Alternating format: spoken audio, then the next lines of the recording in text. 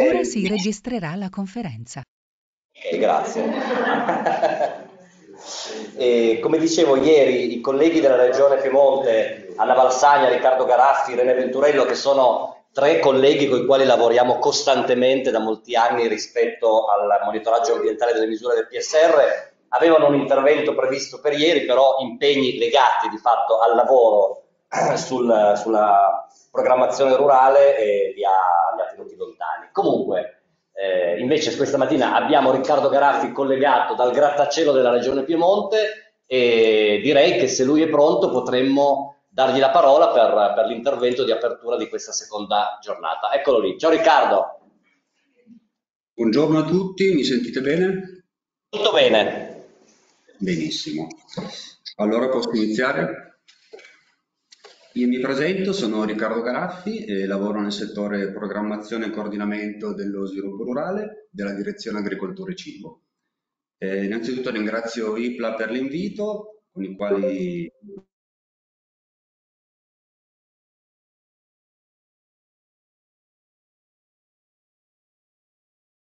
Riccardo non si Eh, sente più. la- è andata via la voce, Rick. Riccardo? No, no, non ci sente. Non- Non ci sente, non ci sente. no. Forse va Sergio. Anche se non Connessione. e anche sulla programmazione 14-22, anche perché questo è un periodo dove c'è una sovrapposizione tra le due programmazioni. Ehm, vi porto ovviamente i saluti eh, sia del nostro assessore Marco Protopapa, che non so eh, se è già intervenuto ieri per un saluto istituzionale, ehm, del nostro direttore Paolo Balocco, che è direttore dell'agricoltura e cibo, nonché autorità di gestione, e della dirigente Anna Maria Valsagna del settore programmazione e coordinamento dello sviluppo. Allora, io con questo breve intervento vorrei solo presentarvi eh, e fare un, un rapido inquadramento ehm, di come il monitoraggio ambientale è stato svolto con riferimento alla programmazione 1422, eh, che ha coinvolto IPLA in quanto è stato il partner scelto per le attività proprio di monitoraggio ambientale. Ora, se siete d'accordo, eh, io inizio a condividere lo schermo, ditemi poi se vedete. A posto? A posto? Benissimo.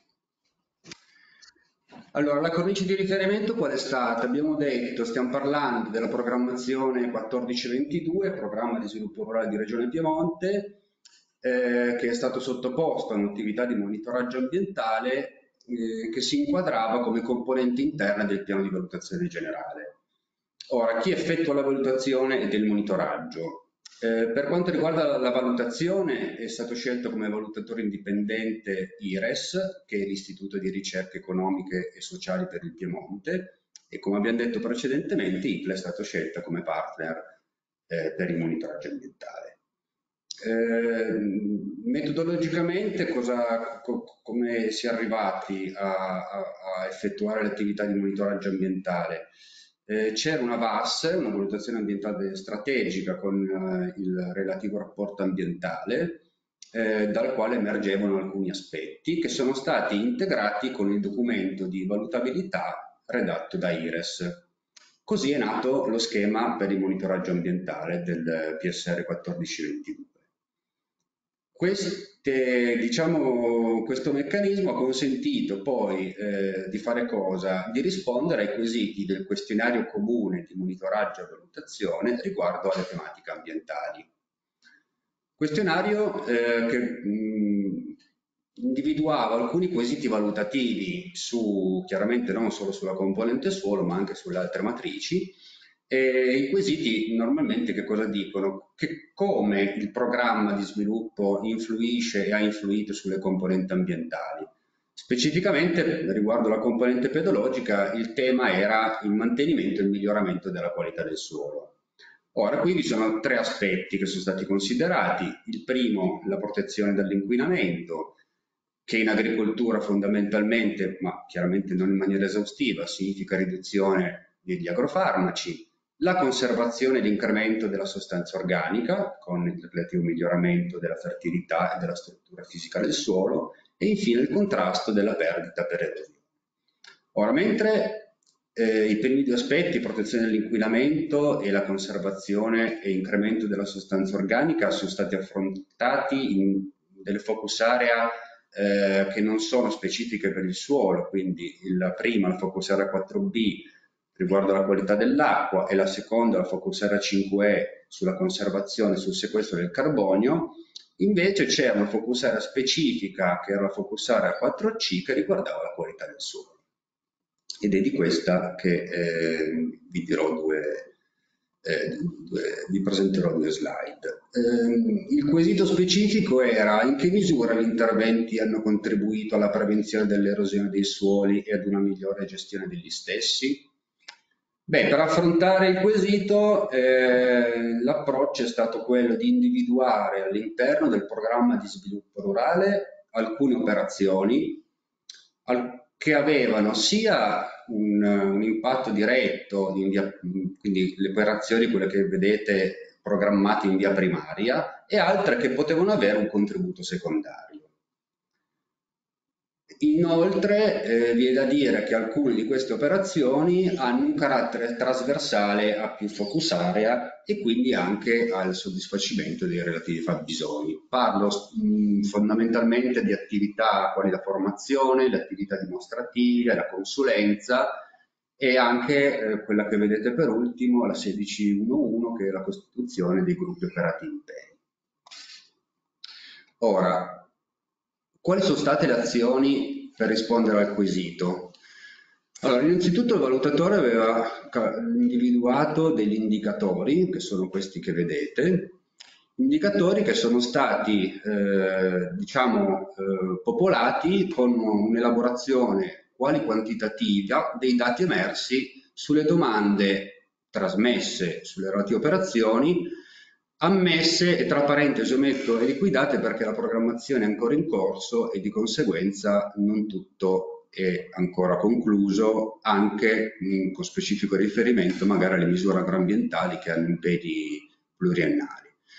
Eh, quali sono questi indicatori? Gli indicatori sono, eh, li ho elencati, ma giusto per avere un'idea, eh, una percentuale di superficie agricola coperta dal sostegno ricadente in area a rischio elevato di erosione reale del suolo, il secondo eh, riguardo le aree ricadenti in area bassa contenuta di sostanza organica nel suolo. Gli ultimi quattro riguardano sostanza organica nel suolo con specifico riferimento ai seminativi, l'erosione del suolo per azione dell'acqua, la perdita potenziale di suolo per l'erosione e il consumo di suolo. Oltre queste eh, diciamo, diciamo, rilievi più analitici, IPLA che, che cosa, come è intervenuta? Beh, innanzitutto IPLA eh, ha eh, una carta dei suoli a livello, a livello regionale che copre l'intero territorio in scala 1-250.000, da cui è stata derivata la carta dell'erosione reale del suolo. Eh, mancavano ancora alcuni approfondimenti in scala 50.000, soprattutto per la parte collinare, e sono stati implementati eh, diciamo, alcuni territori, alcune aree territoriali che erano un po' scoperte da questa scala, eh, così facendo si è riuscito eh, a definire una scala di maggior dettaglio rispetto alla, alla carta di inquadramento regionale. Altra carta eh, derivata è quella relativa alla sostanza organica del suolo, è stato effettuato un aggiornamento di questa carta del carbonio dei suoli della regione Piemonte eh, che comprende sia l'uso forestale diciamo, da TIPLA con l'uso agricolo eh, dato da AGEA nazionale, eh, metodologia sviluppata eh, diciamo, di concerto con il Consiglio nazionale delle ricerche. Oltre a questi, questi aspetti, eh, beh, eh, diciamo generalmente il monitoraggio degli effetti di alcune operazioni, quindi non tanto in termini analitici, eh, ma diciamo più in termini generici, vi era poi ancora eh, da parte della rete rurale per la PAC post 2020 un indicatore di contesto, l'indicatore 13 che riguardava la riduzione dell'erosione del suolo e qui eh, c'è tutta una, una, messa a disposizione di informazioni eh, per, per, verificare quanto richiesto a livello nazionale e infine un contributo per analisi di contesto e SWOT per, sempre per la PAC post 2020. Ora, eh, qui siamo ancora in una fase, come abbiamo detto prima, di programmazione in corso, anche se andiamo verso la fine, eh, quindi i risultati non, non sono ancora da definirsi definitivi, però possiamo già dire che cosa? Eh, che sicuramente c'è stato un grado di coerenza abbastanza elevato tra i risultati che erano stati eh, effettuati con l'analisi SWOT, eh, diciamo, che è servita poi per la programmazione 1422, con la definizione dei fabbisogni e l'attivazione delle operazioni che sono state individuate. Ehm, allora, la maggior parte delle operazioni programmate in via primaria ha sicuramente effetti positivi anche sulle altre componenti ambientali, come c'era da aspettarsi, quindi in termini di biodiversità e miglioramento della qualità dell'acqua e sequestro del carbonio, ovviamente con una conseguente riduzione delle emissioni di CO2. Eh, qui c'è ancora un dato così eh, aggiornato al 2022, però giusto per dare un riferimento eh, quantitativo, abbiamo che eh, poco meno del 9 per, per le operazioni mh, che hanno un contributo in via primaria, mh, poco meno del 9% della SAU risulta oggetto di impegno per conservazioni e incremento di sostanza organica e contrasto all'erosione dei suoli. Considerando anche le operazioni aventi effetti secondari, questa percentuale sale al 16,6%. Le operazioni forestali eh, hanno il loro, il loro, effetto positivo, ovviamente si tratta ancora di superfici un po' limitate per produrre diciamo, modificazioni rilevanti, però bisogna considerare anche la componente forestale e non solo quella agricola. Per quanto riguarda le operazioni trasversali che vi ho detto prima, quindi la formazione, l'informazione, la costituzione dei gruppi operativi, mh, essendo ancora in corso non sono valutabili in termini quali quantitativi, ma sicuramente una prima analisi in termini di numero di progettualità e di corsi, sia come numero sia come ore di formazione, eh, un'analisi su questi aspetti eh, si sta già facendo e contiamo di arrivare poi a una, definizione del loro contributo a fine programmazione. Eh, io avrei finito la mia presentazione che è stata breve ma eh, un attimo che tolgo la condivisione. Grazie. Grazie Riccardo, anche perché so che non è stato banale riuscire a infilare l'intervento tra gli impegni che avete in regione. Lo sottolineo non perché Riccardo è collegato, ma abbiamo la fortuna di avere in regione un riferimento che sa benissimo di cosa parliamo perché ha fatto il pedologo anche in campagna, quindi sa di cosa, di cosa stiamo parlando molto bene. Eh, direi che intanto ti ringraziamo, ovviamente se vuoi rimanere collegato benvenuto, se vuoi dirci qualcosa pure. Eh sì, ti ringrazio Igor, eh, di, questa conclusione. Eh, sì, io rimango ancora collegato per qualche minuto, poi eh, dovrò assentarmi. Mm, se però avete quesiti, eh, potete sicuramente portarli all'attenzione dei colleghi di IPLA e, e, poi con i quali poi mi interfaccerò per un eventuale riscontro. Grazie dell'attenzione e vi auguro una buona prosecuzione dei lavori. Grazie mille, salute ai colleghi. Ciao, ciao, ciao. Grazie. Grazie Bene, eh, a questo punto rientriamo nel programma della, della mattinata eh, di giovedì senza perdere tempo perché siamo un po' in ritardo e passiamo a Lorenzo Davino, ricercatore del CREA AA, monitoraggio della qualità biologica del suolo è il titolo dell'intervento. Ciao Lorenzo, Ciao, prego. Per scorrere, eh, come vuoi? Dai inizio. Allora, buongiorno a tutte le persone presenti. E io sono Lorenzo Avino, ricercatore con sede a, eh, a Firenze e ho inserito fuori programma diciamo, il nome di Carlo Iacomini in questa, eh, in questa presentazione che è un, un, amico, un collega con cui collaboro dell'ISPRA eh, che sta a Roma, proprio perché credo che questa collaborazione sia importante, anche perché abbiamo diversi progetti che riguardano anche il, il QBS eh, con delle competizioni con la Paneco, che è una ditta tra l'altro piemontese, sul, eh, sulla rigenerazione dei suoli di cultura. Ma andiamo avanti per, eh, Allora, parto da qualcosa di molto noto e molto eh, che sapete tutti, che cioè un suolo di salute può fornire dei servizi ecosistemici, contribuendo al benessere. Ma eh, noi adesso oggi ci concentriamo sul, sull'habitat per, uh, per, organismi, pur sapendo benissimo che la, questo servizio ecosistemico è legato strettamente a tutti gli altri che sono qui citati. E eh, quindi prima, un paio di dati importanti, cioè la, la, normalmente si ragiona in termini di biodiversità eh, di vertebrati, che tuttavia sono in, negli ultimi anni in calo del 68%, quindi insomma abbiamo un problema importante eh, di perdita di biodiversità a livello globale, ma ci dimentichiamo troppo spesso che il 98% della biodiversità italiana è data da invertebrati e quindi eh, molto spesso queste perdite di specie non sono nemmeno conosciute.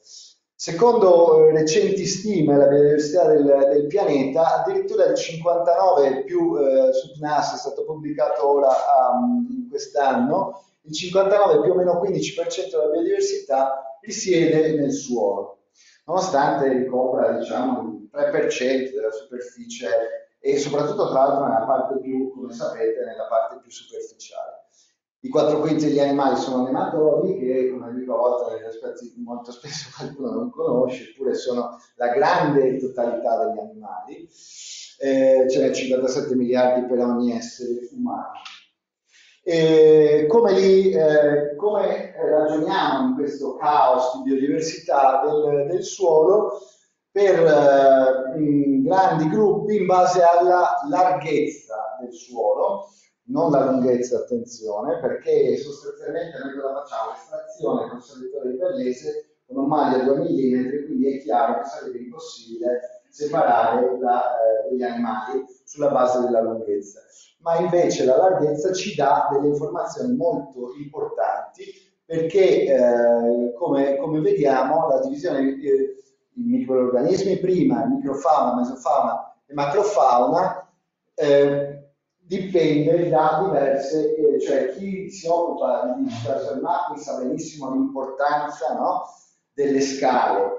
Ecco, qua eh, ragioniamo un attimo su quali sono gli effetti di queste, eh, prima le micro reti, che io abbiamo sottolineato questo aspetto importante, che l'area d'azione è da qualche centimetro cubico eh, ed è il tempo di turnover da un giorno a una settimana, quindi molto veloce, molto in azione.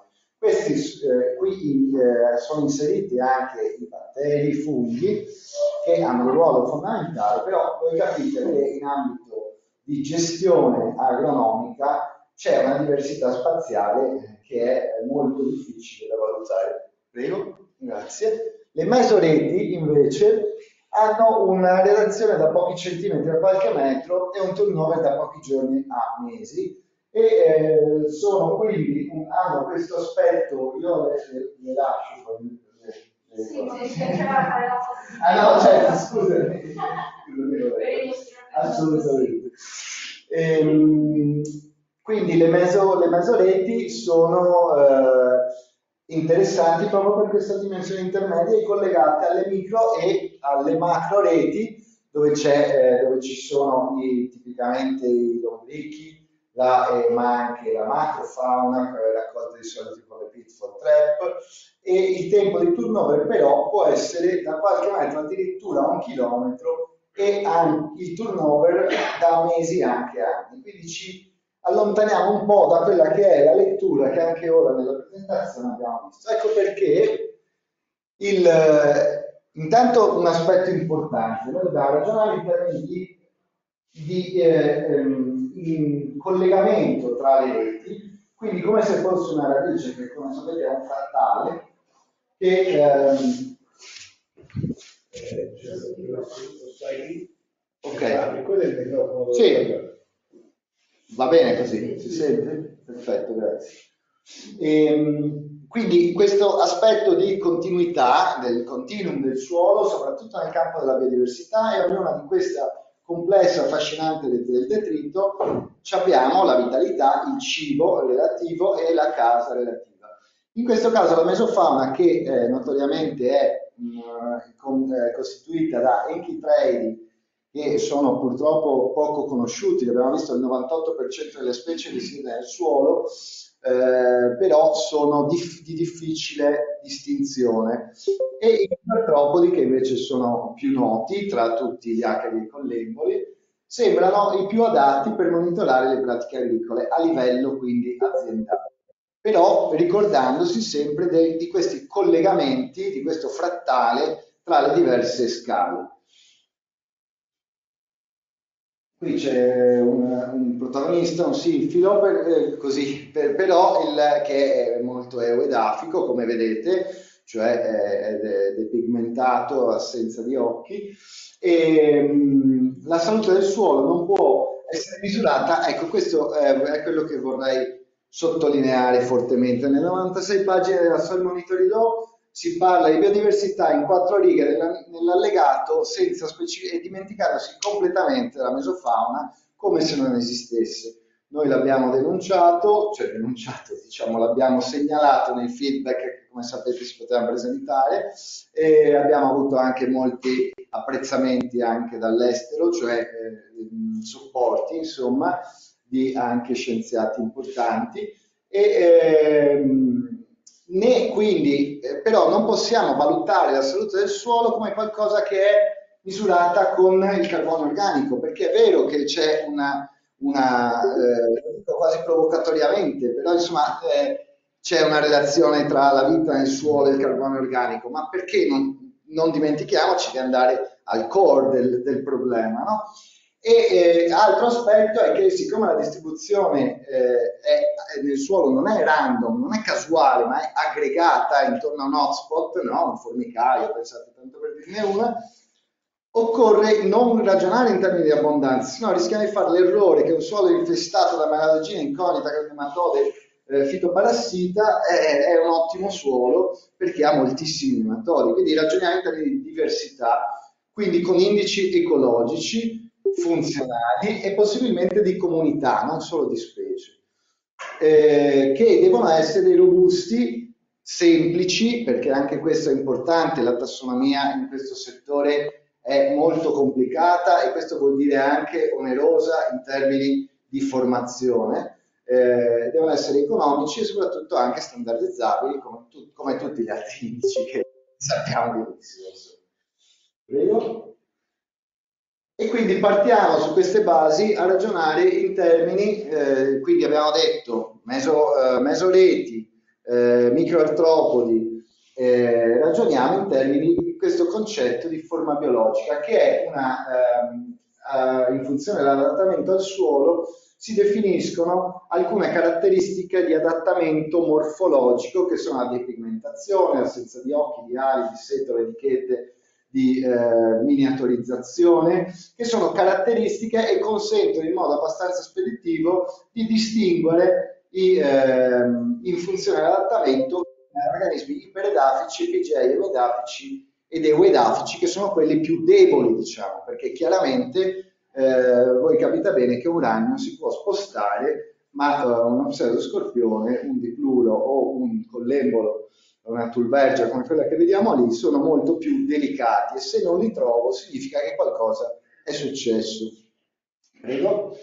Ecco, eh, abbiamo ragionato nel confronto tra diversi indici, nel, nel, nell'ultimo anno abbiamo presentato a Dublino e a Palermo eh, al Congresso Nazionale di Entomologia e al Congresso Congiunto CIS-SICA SIBE eh, delle società scientifiche, questi confronti su 17 siti europei che stiamo per pubblicare, insomma, i più famosi indici, cioè eh, basati su, come abbiamo visto, sulle forme biologiche, nel rapporto tra acari collemboli, l'alfa biodiversità, ricchezza, Shannon, Ifness, eccetera, e il QBSAB, che è eh, basato sulle, che considera anche l'abbondanza, il QBSA, e anche un nuovo indice che considera tutte le forme biologiche. Ecco, abbiamo visto che proprio il QBSR a livello di eh, effect size è, è quello che discrimina meglio le, i ehm, campi a gestione integrata e biologica e anche le coltivazioni che in questo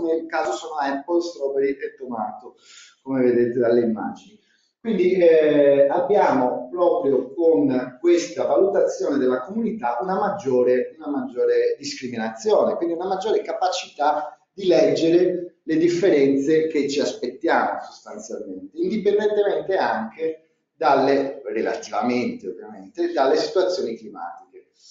Eh, questo è un intermezzo pubblicitario, giusto per farvi vedere un, un, un, un olibatide, un olibateo che è tipicamente adattato al suolo e che anche per dire così, in modo un po' scherzoso, che gli acari non sono solo quella cosa schifosa che, eh, per cui ci grattiamo, insomma, ma sono fondamentali per la vita del suolo.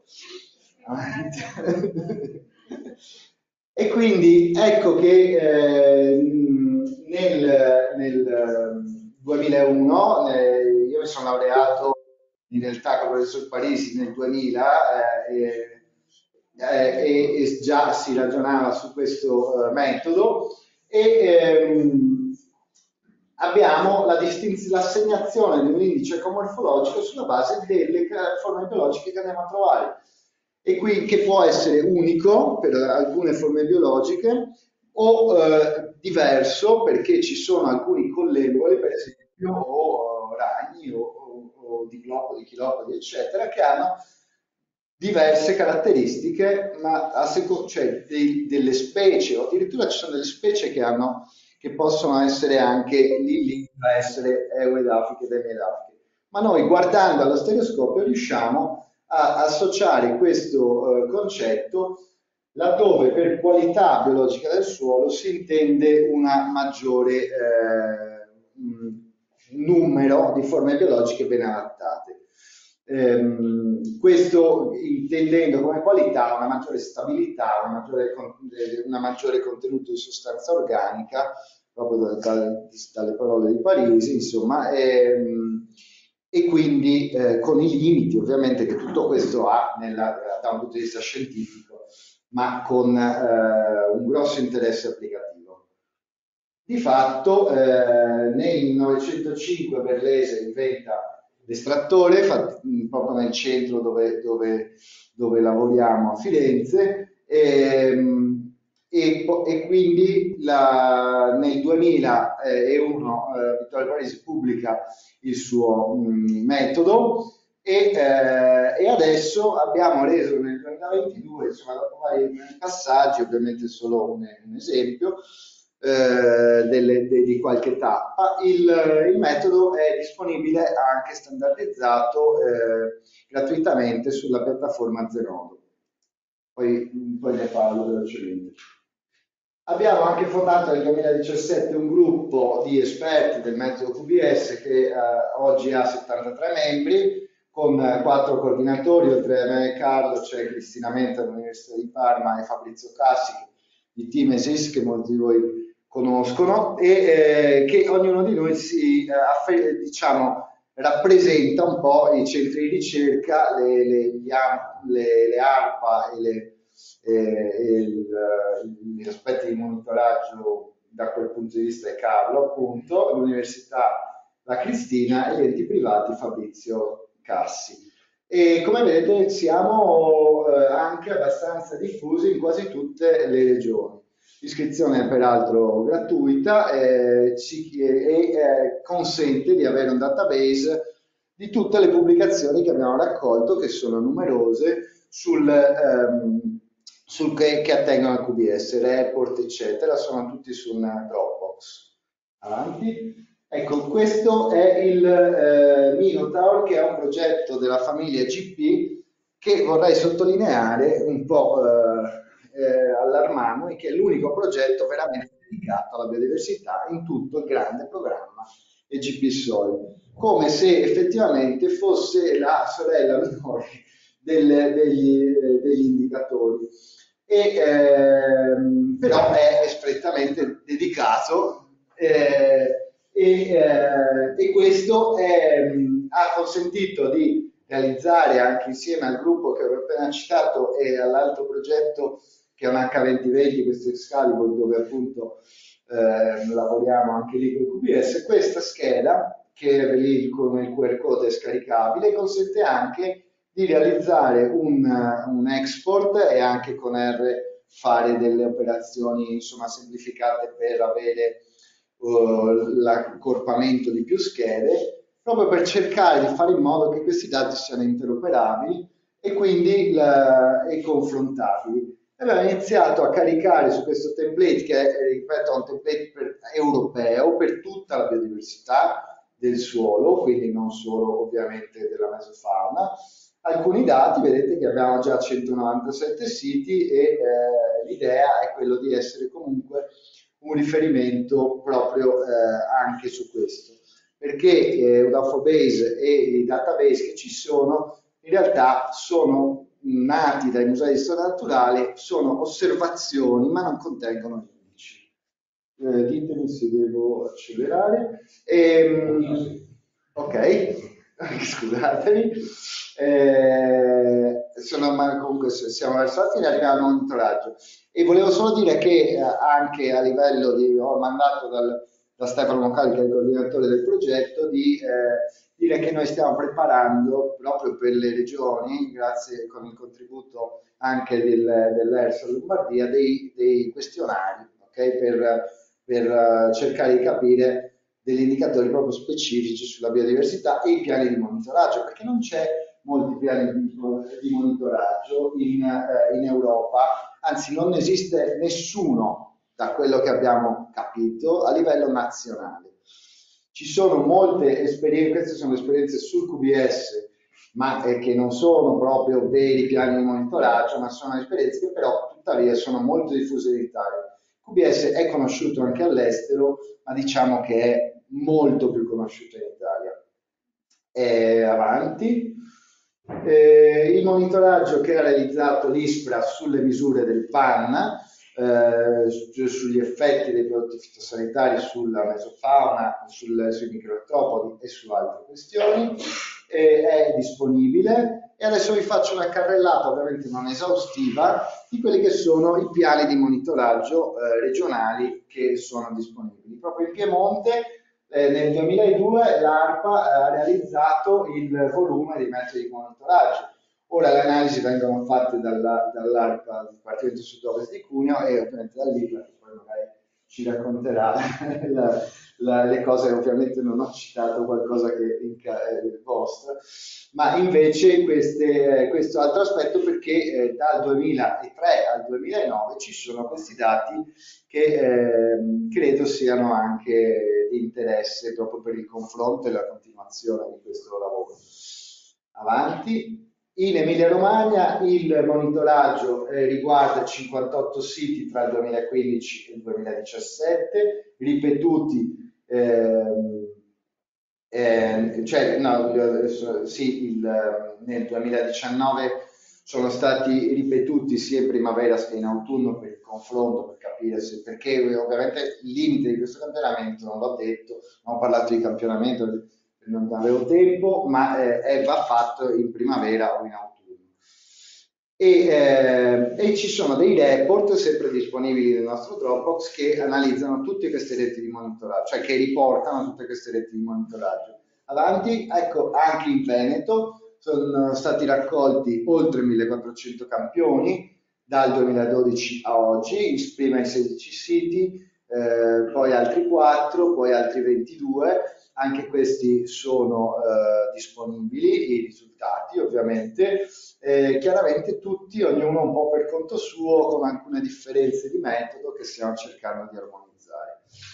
In Friuli Venezia Giulia, così abbiamo coperto praticamente tutto il nord, perché prima non l'ho citata, c'è anche l'ERS Lombardia, chiaramente, eh, e però ci fermiamo qui, nel senso che il monitoraggio eh, per qualche motivo stato, per, almeno a nostra conoscenza, è stato fatto soprattutto queste, a livello regionale, cioè con degli stimoli regionali di monitoraggio, è stato fatto in questo lavoro. Noi tra l'altro siamo, eh, la FAO sta recependo come SOP uh, operature standard operating procedure, il QBS, eh, abbiamo, siamo in fase finale di approvazione e, e, quindi avremo anche un riferimento gratuito sul metodo e un protocollo chiaro e standardizzato e valutato.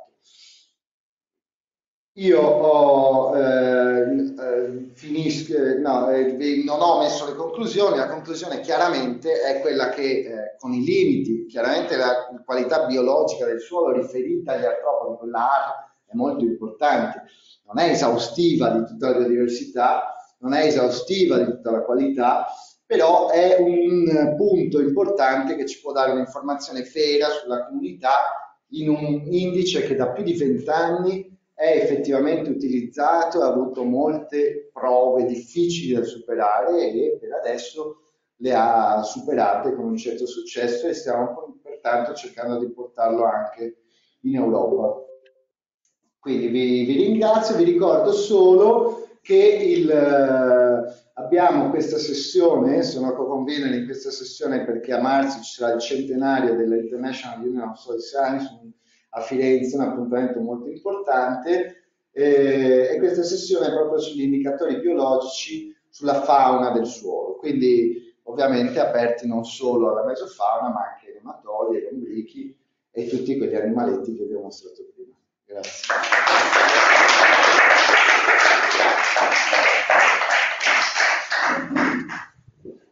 Grazie a Lorenzo Davino. E tutto molto, molto interessante, molto interessante e credo che si agganci bene a tutta una serie di questioni che andremo a approfondire nei prossimi interventi, anche perché dal monitoraggio della qualità biologica del suolo passiamo agli indicatori di qualità eh, del suolo con Romina Lorenzetti del CNR IBE, che ringraziamo per essere con noi. Allora, ringrazio io voi e ringrazio, vi porto anche i saluti di Costanza e Fabrizio. Mm. E per Costanza è un giorno particolare. Per Costanza oggi è l'ultimo giorno di lavoro, sì, quindi per lei è una bella giornata, diciamo. Allora, noi si chiama Serena. Sì, quello lì, sì.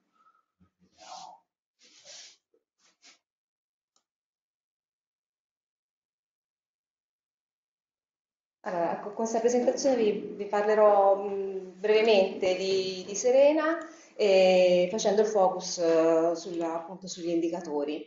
Eh, Serena appartiene a questa famiglia di progetti all'interno di GP Soil e in particolare, posso andare avanti da me, giusto? Con questo particolare risponde agli impatti attesi sulla linea strategica della valutazione e il monitoraggio, ehm, insieme a una serie di altri progetti. Ehm, eh, facendo focus sul tema dei framework e degli indicatori. Eh, da Siren eredita alcune definizioni eh, sugli indicatori e collabora anche con Minotauro, eh, con Minotauro per quanto riguarda la biodiversità del suolo. Lo scopo fondamentalmente è quello di utilizzare, testare e migliorare la robustezza e la sensibilità degli indicatori esistenti e di mh, eh, armonizzare metodi, eh, definizioni e metodi eh, per l'applicazione la, la, di questi indicatori e mappare eh, minacce e servizi ecosistemici del suolo. Eh, si basa sostanzialmente su tre pilastri. sicuramente il primo è il coinvolgimento di stakeholder utenti finali eh, in tutte diciamo, le varie fasi del progetto e ehm, sull'idea che almeno per uh, diversi eh, eh, soil ecosystem services and soil treats, abbiamo, possiamo intendere i due come due lati della stessa medaglia, quindi vi ho portato l'esempio dell'erosione, appunto, quindi anche sugli indicatori questo ha un certo valore nel momento in cui si vanno a studiare. E infine si propone di studiare ehm, eh, servizi ecosistemici e e minacce eh, nel loro insieme, cioè come si propongono nel, nello spazio e nel tempo eh, contemporaneamente. Eh, e questo è diciamo, un po' il concetto eh, innovativo di, di bundle. I, principali prodotti quindi, che si aspettano da Serena sono quello di sviluppare e promuovere un framework per valutare servizi ecosistemici e minacce del suolo, discutere le definizioni di questi concetti principali e mh, sviluppare dei cookbooks la, ehm, che possono essere applicati all'interno del Stato di Serena eh, per mappare eh, bundle di, e servizi ecosistemici e, e. Ehm, I risultati saranno convalidati e trasferiti eh, a tutte le parti interessate. Serena è una struttura abbastanza complessa che si organizza eh, in sei VP, quali, gli input dei quali diventano gli output di alcuni dei quali diventano input degli altri, quindi c'è una struttura abbastanza complessa in cui il VP1 si interessa soprattutto della, del coinvolgimento degli stakeholder, il VP2 eh, dell'armonizzazione a partire dalle definizioni fino al coinvolgimento dello sviluppo di questi cookbook, quindi metodologie. VP3 e VP5 sono quelli più applicativi, eh, il primo a livello nazionale, l'altro a livello europeo, la produzione di di mappe relative a, a, questi concetti di cui abbiamo già parlato e infine il VP4 si occupa delle politiche, dell'analisi delle politiche e il VP6 della comunicazione. E, ehm, sarò più rapida di quanto riportato nelle slide. Eh, il, per quanto riguarda il VP1, credo sia interessante parlare del risultato già diciamo, un corso già e di risultato già ottenuto relativo a un questionario che è stato eh, somministrato al, al, Consorzio di Serena, all'interno del Consorzio di Serena, relativamente alle definizioni. Le definizioni vengono eh, acquisite diciamo, dal VP2 e organizzate in un quadro terminologico abbastanza eh, denso in cui eh, gli indicatori sono raggruppati diciamo, diciamo, per tematica a livello semantico e collegati da una parte ai Soltriz, dall'altra ai Sol Ecosystem Services ehm, e in grassetto vedete i collegamenti, le interrelazioni più forti. Il quadro è inteso appunto a illustrare questa, la percezione del team di progetto riguardo a queste relazioni. Cosa ne è emerso? Una, ancora una, diciamo una mancanza di omogeneità della, di come vengono utilizzati questi termini e anche eh, la presenza di termini eh, poco intuitivi eh, verso un verso pubblico, quindi la necessità di, di, di, omogenizzare, di armonizzare questa terminologia e lo scopo anche di questo questionario è proprio quello, cioè quindi vengono, sono stati presentati queste, queste terminologie con delle definizioni ehm, quello che si, è, che si recepisce è una, eh, un'espressione di quanto si è concordi o meno con queste definizioni, quindi l'elaborazione che sarà disponibile a breve eh, tramite una soglia deciderà cosa è, diciamo, i termini che vengono accettati tal quale e quali che necessitano ancora di una, un secondo, una seconda revisione e a breve saranno disponibili queste, questi risultati. Eh, il VP2 appunto ha lavorato sulla, sull'armonizzazione di queste definizioni, e, ehm, quindi faccio il focus su quello che è stato già concluso, quindi l'armonizzazione eh, delle definizioni degli indicatori. Eh, in un, un, primo deliverable, appunto, deliverable ha ehm, stilato un elenco di 15 termini fondamentali che sono stati eh, elaborati da un gruppo di, e poi sottoposti alla comunità di Serena e quindi eh, presentati in una versione definitiva, presento tutto l'elenco comunque. Per esempio il bundle eh, viene definito come un insieme di servizi ecosistemici, minacce per il suolo, la combinazione dei due che compaiono insieme ripetutamente nel tempo e nello spazio in relazione a un contesto specifico e così via.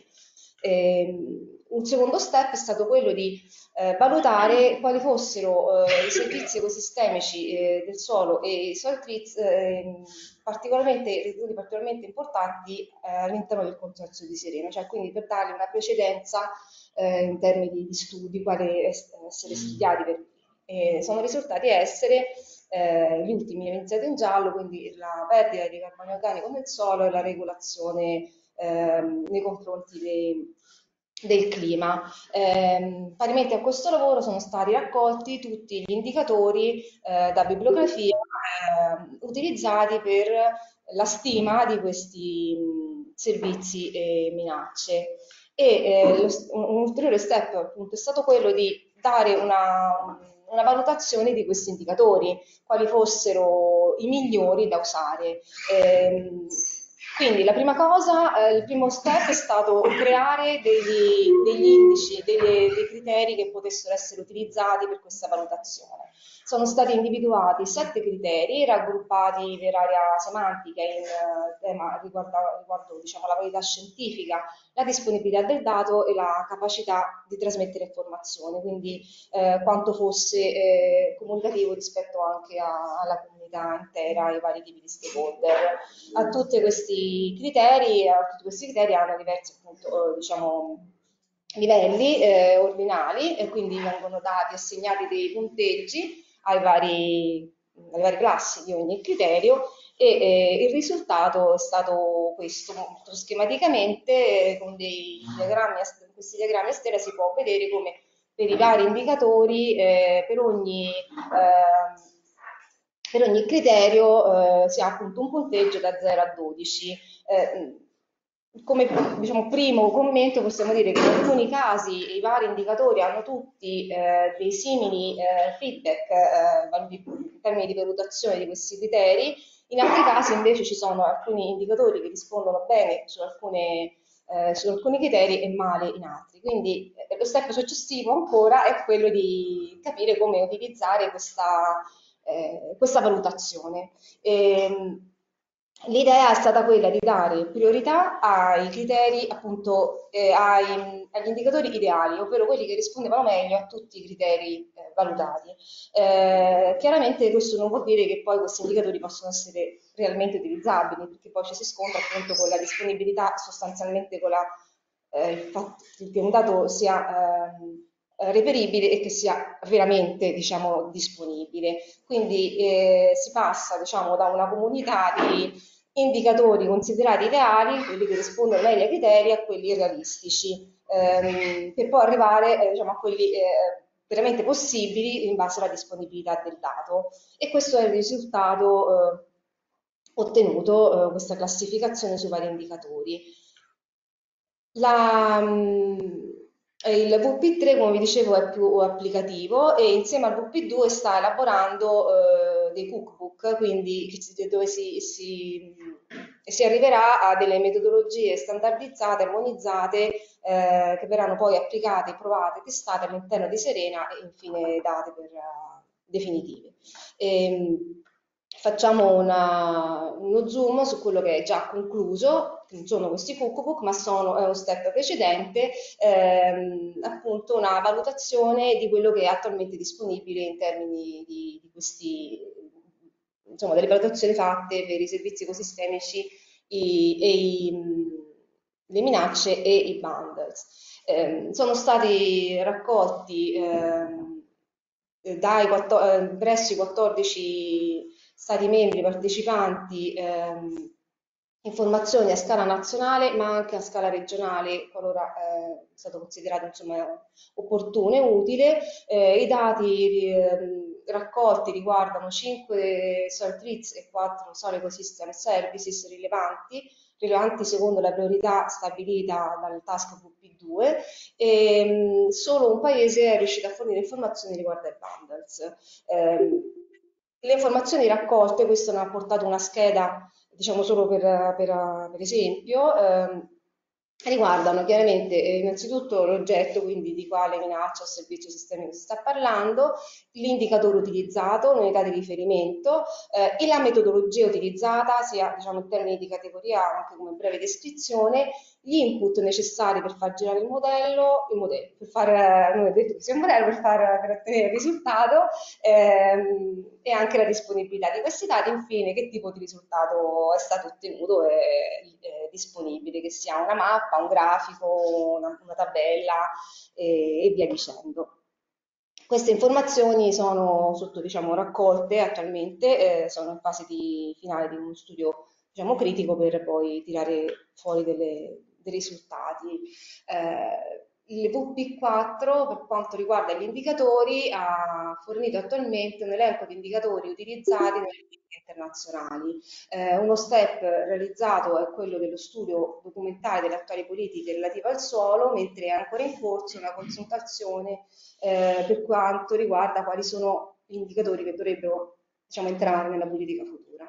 Eh, sinteticamente queste due tabelle riportano eh, quanto è stato evidenziato da questo studio, quindi eh, sono, quanti sono gli indicatori eh, su, su, quali la Serena lavora, eh, nominati eh, all'interno delle varie politiche e viceversa quali sono eh, gli indicatori più utilizzati, cioè quante quanti documenti compaiono i vari indicatori, per darci un'idea questo di, di, quali siano i più, ehm, diciamo, come dire, i più affermati in questo momento, quelli che sembrano funzionare meglio, più adottati. A livello europeo sono state eh, realizzate, eh, realizzati come per il VP3 eh, una raccolta delle informazioni già esistenti e ehm, sono già in corso delle attività eh, per mappare eh, servizi ecosistemici e ehm, servizi e banda a livello europeo. Per quanto riguarda il primo step, ehm, i, i, i, documenti è stato difficile, diciamo, c'è stata innanzitutto una difficoltà nella, nella, nel raccogliere queste informazioni, perché in letteratura eh, chiaramente eh, queste eh, definizioni non, fanno, eh, non, sono concordi con quelle elaborate dentro Serena. Quindi innanzitutto primo, il primo step è stato capire cosa ass poter associare a, a quanto definito dentro, dentro Serena i ra documenti raccolti eh, dopo eh, una, una, revisione sistematica sui eh, motori disponibili ehm, consiste in 9 documenti per i servizi ecosistemici e 26 per eh, le minacce, includendo anche alcuni documenti che non sono mh, propriamente documenti scientifici, ma, cioè sono documenti scientifici ma non sono obbligazioni. Eh, solo tre paper eh, risultavano correlati a al tema degli scenari e solamente tre riguardano eh, lo studio di, delle interazioni tra servizi ecosistemici e CETRIX, quindi l'idea di evidenziare sinergie e trade-offs che è un po' alla base del concetto dei, dei bundles. Eh, alcuni eh, chiaramente sono risultati già più studiati, in particolare il controllo dell'erosione, la regolazione eh, sui gas serra e l'effetto sul clima, l'erosione del suolo, la perdita di carbonio organico. E per ognuno di questi servizi ecosistemici e, e Soltriz sono stati eh, raccolti gli indicatori utilizzati eh, e una breve descrizione e i riferimenti eh, a cui, far, a, cui far riferimento. Eh, per quanto riguarda l'altro esercizio, quello di mappatura, eh, sono state ehm, selezionati alcuni eh, sia servizi ecosistemici, questo è il caso servizi ecosistemici che Seltritz, tramite una, una, un esercizio di digital soul mapping di, eh, legato, diciamo, appoggiato al, un approccio di clustering, eh, vengono creati dei bundle, dei bundles. Tramite, in questo esercizio sono stati creati 10 eh, bundles eh, in, in Europa e quello che vedete nella, nel grafico a destra è eh, come questi, eh, cioè i valori che assumono i vari servizi ecosistemici all'interno dei vari bundle. L'operazione è stata quella, innanzitutto la scelta degli indicatori, quelli che avevano eh, dati, eh, per i quali era possibile avere dati disponibili nell'attuale ma anche per il futuro, quindi non solo quello che è attualmente disponibile ma anche qualcosa che potesse essere poi confrontato eh, con il risultato che si poteva ottenere in, nel futuro. Quindi alcune informazioni magari eh, anche più dettagliate presenti nel presente, ma che non potevano essere poi esatto, sceltate nel futuro non, non sono state selezionate. E, ehm, appunto dopo questa selezione una quantificazione dei servizi ecosistemici selezionati, quindi una proiezione del futuro e infine una valutazione di questi bundle. Questo è un esercizio fatto sui servizi ecosistemici e questo quello fatto eh, sui salt treats.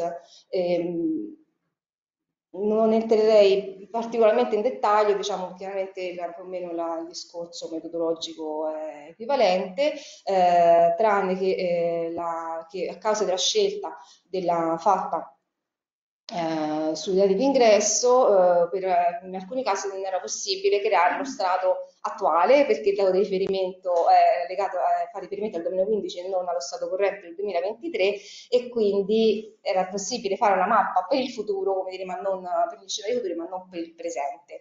E quindi più che un confronto tra presente e futuro, eh, per la valutazione è stata scelta di fare un confronto rispetto ai valori medi eh, della, del servizio che il servizio ecosistemico offriva, quindi i cluster sono eh, riferiti a valori che stanno sopra o sotto il valore medio stimato.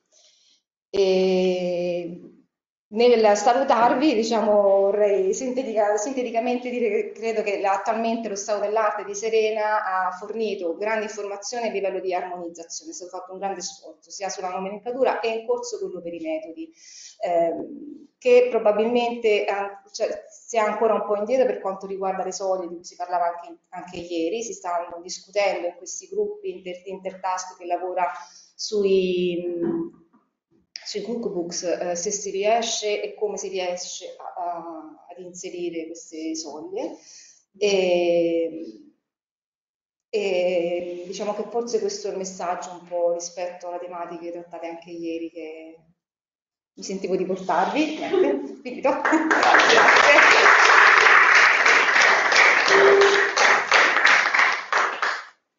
Sì, soglie e armonizzazione sicuramente sono temi assolutamente centrali, non per niente banali, no. niente banali. Bene. Bene. Vai, sì. Allora, ci chiedevano giustamente i referenti di, di, di Soilab e di IGP Soil se chi è online potesse accendere momentaneamente la telecamera così facciamo una foto, diciamo, allo schermo, eh, giusto per avere, come dire, delle facce, non semplicemente delle icone con delle iniziali per far vedere appunto che c'è un interesse, una certa partecipazione. Ah, eppure, eppure con tosta, va bene. Se mi ricordo come si fa, eh, perché... Eh, non era... Eh, aspetta, aspetta, ancora qualcuno si accende. Eh. Fatevi vedere come personalizzato. Prova, ma... Di stesso io ho queste idee. Beh, comunque io faccio una foto, per sicurezza faccio una foto. Ecco, facciamo una foto. non mi fido di voi. A parte che sta registrando, quindi dovrebbe esserci questo sulla registrazione. Mi auguro. Ok, grazie. Grazie, grazie mille, gentilissimi.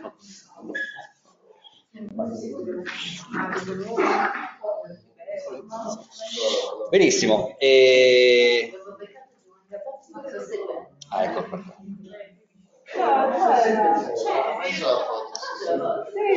Direi che possiamo andare avanti, rientriamo un po' nelle questioni regionali nostrane eh, con eh, due nostri colleghi, Nicoletta Agliani e Maurizio Quirino, che ci parlano del monitoraggio della biodiversità del sud del Piemonte. Nicoletta, lo dico perché ha, ha seguito per moltissimi anni eh, in prima persona il progetto di monitoraggio misure del programma di sviluppo rurale, ha contribuito insieme a IRAS, Regione Piemonte, alla costruzione del, di quello che Riccardo Galassi di fatto ci ha illustrato nel primo intervento e ancora oggi qua collabora preziosamente con noi. Grazie. Grazie, è troppo buono. No, io vi chiedo solo, uh, rubo un minuto riavvolgendo il nastro rispetto agli ultimi interventi di ieri sera, perché mi era sembrato, ieri io seguivo online e non avevo la possibilità di intervenire per problemi di, di linea, eh, mi era sembrato di capire che eh, necessitasse una piccola liaison eh, sulle differenze fra eh, i campionamenti del settore fitosanitario che costituiscono la banca dati eh, dei, dei top soil del Piemonte rispetto alle analisi IPLA che riguardano i profili eh, e i rilevi pedologici per la caratterizzazione dei profili. Intanto qui approfittiamo per ringraziare Cinzia Pertusio, che è la nostra collega che coordina ed esegue la maggior parte delle analisi del laboratorio. E, e anche, e anche parafulmine di tutti i nostri isterismi riguardo alle scadenze, eccetera, eccetera. Quindi a, a doppio merito anche il tecnico e umano.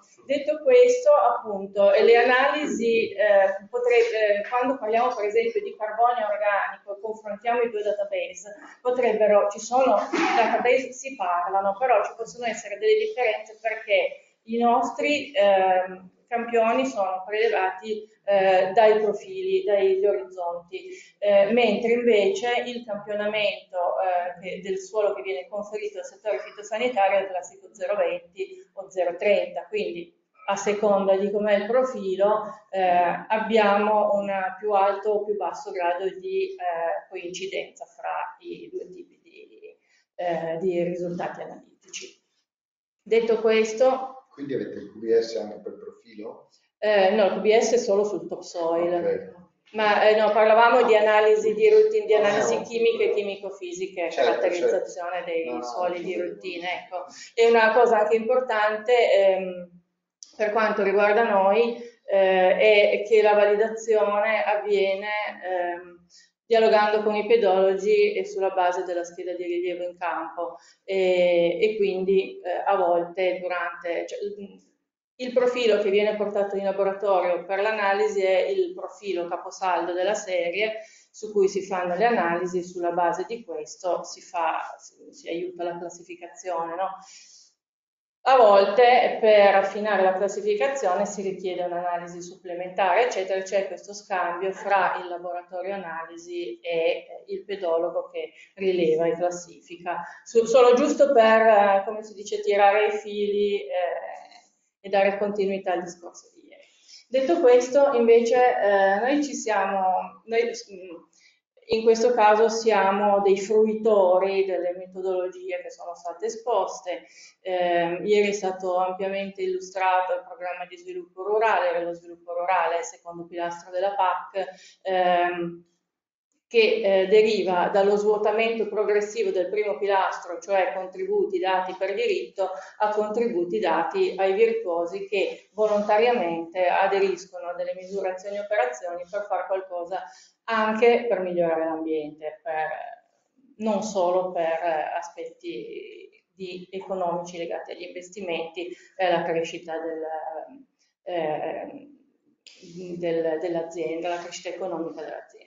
Detto questo, quindi, la Commissione quando eh, nel 2000 eh, ha iniziato a varare il primo programma di primo quadro di sviluppo rurale europeo, ehm, ha anche cominciato a chiedere eh, conto dei risultati dell'applicazione di queste politiche. Pertanto eh, si sono affinate nel corso del tempo delle metodologie che all'inizio erano un po' artigianali perché la commissione ci chiedeva eh, tu ogni anno mi devi dire che cosa ha fatto eh, le misure, eh, che, che, effetti hanno avuto le misure che hai applicato nei confronti del suolo, della biodiversità, eh, delle acque, eccetera, eccetera, senza darci ehm, un frame di indicatori specifico, eravamo nel 99-2000, poi pian pianino si sono affinate si è affinato il quadro di monitoraggio e valutazione che adesso è abbastanza diciamo, rigido, noi abbiamo tutti gli anni una serie di indicatori da tenere sott'occhio, da monitorare e dobbiamo rispondere ai grandi domandoni, appunto, che cosa ha fatto eh, il PSR che tu hai applicato per la biodiversità, per la qualità del suolo, per l'erosione, eh, per il sequestro del carbonio ecco. e quindi noi abbiamo una serie di indicatori obbligatori da misurare eh, che misuriamo, altri eh, che però non ci danno, alcuni dei quali ci danno delle risposte soddisfacenti, altri molto meno, specialmente in termini di biodiversità. Noi specie all'inizio ci siamo trovati un po' spiazzati perché l'unico indicatore era quello dell'avifauna.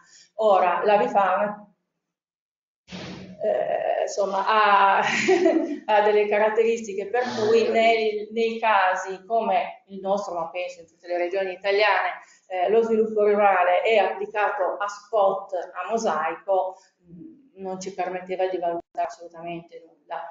Mentre invece ehm, siamo stati in contatto con la scuola Malva Arnaldi di Bibiana, che è stata la prima scuola di agricoltura biologica in Piemonte, e alcuni tecnici che, si, che studiavano il metodo Parisi ci hanno suggerito di provare ad applicarlo, eh, specialmente in caso di analisi controfattuale, cioè noi abbiamo eh, un'applicazione di una misura agroambientale eh, è una situazione in cui invece si opera in modo convenzionale, facciamo un'analisi controfattuale, prendiamo un bianco di riferimento, un testimone naturale e vediamo come eh, il parametro varia a seconda dell'applicazione o non applicazione della misura.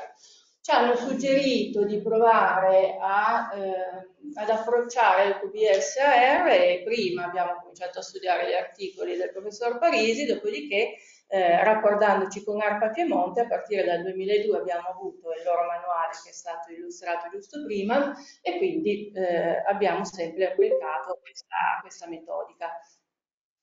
Eh, da un po' di tempo a questa parte, eh, grazie a Fabio Petrella che è inserito nel gruppo di studio di lavoro sulla qualità biologica e la fertilità biologica dei suoli, ehm, abbiamo iniziato anche ad analizzare il QBSAR su campioni provenienti eh, dai profili mm, rilevati per, prelevati per, ehm, per, la classificazione dei suoli e per le carte dei suoli.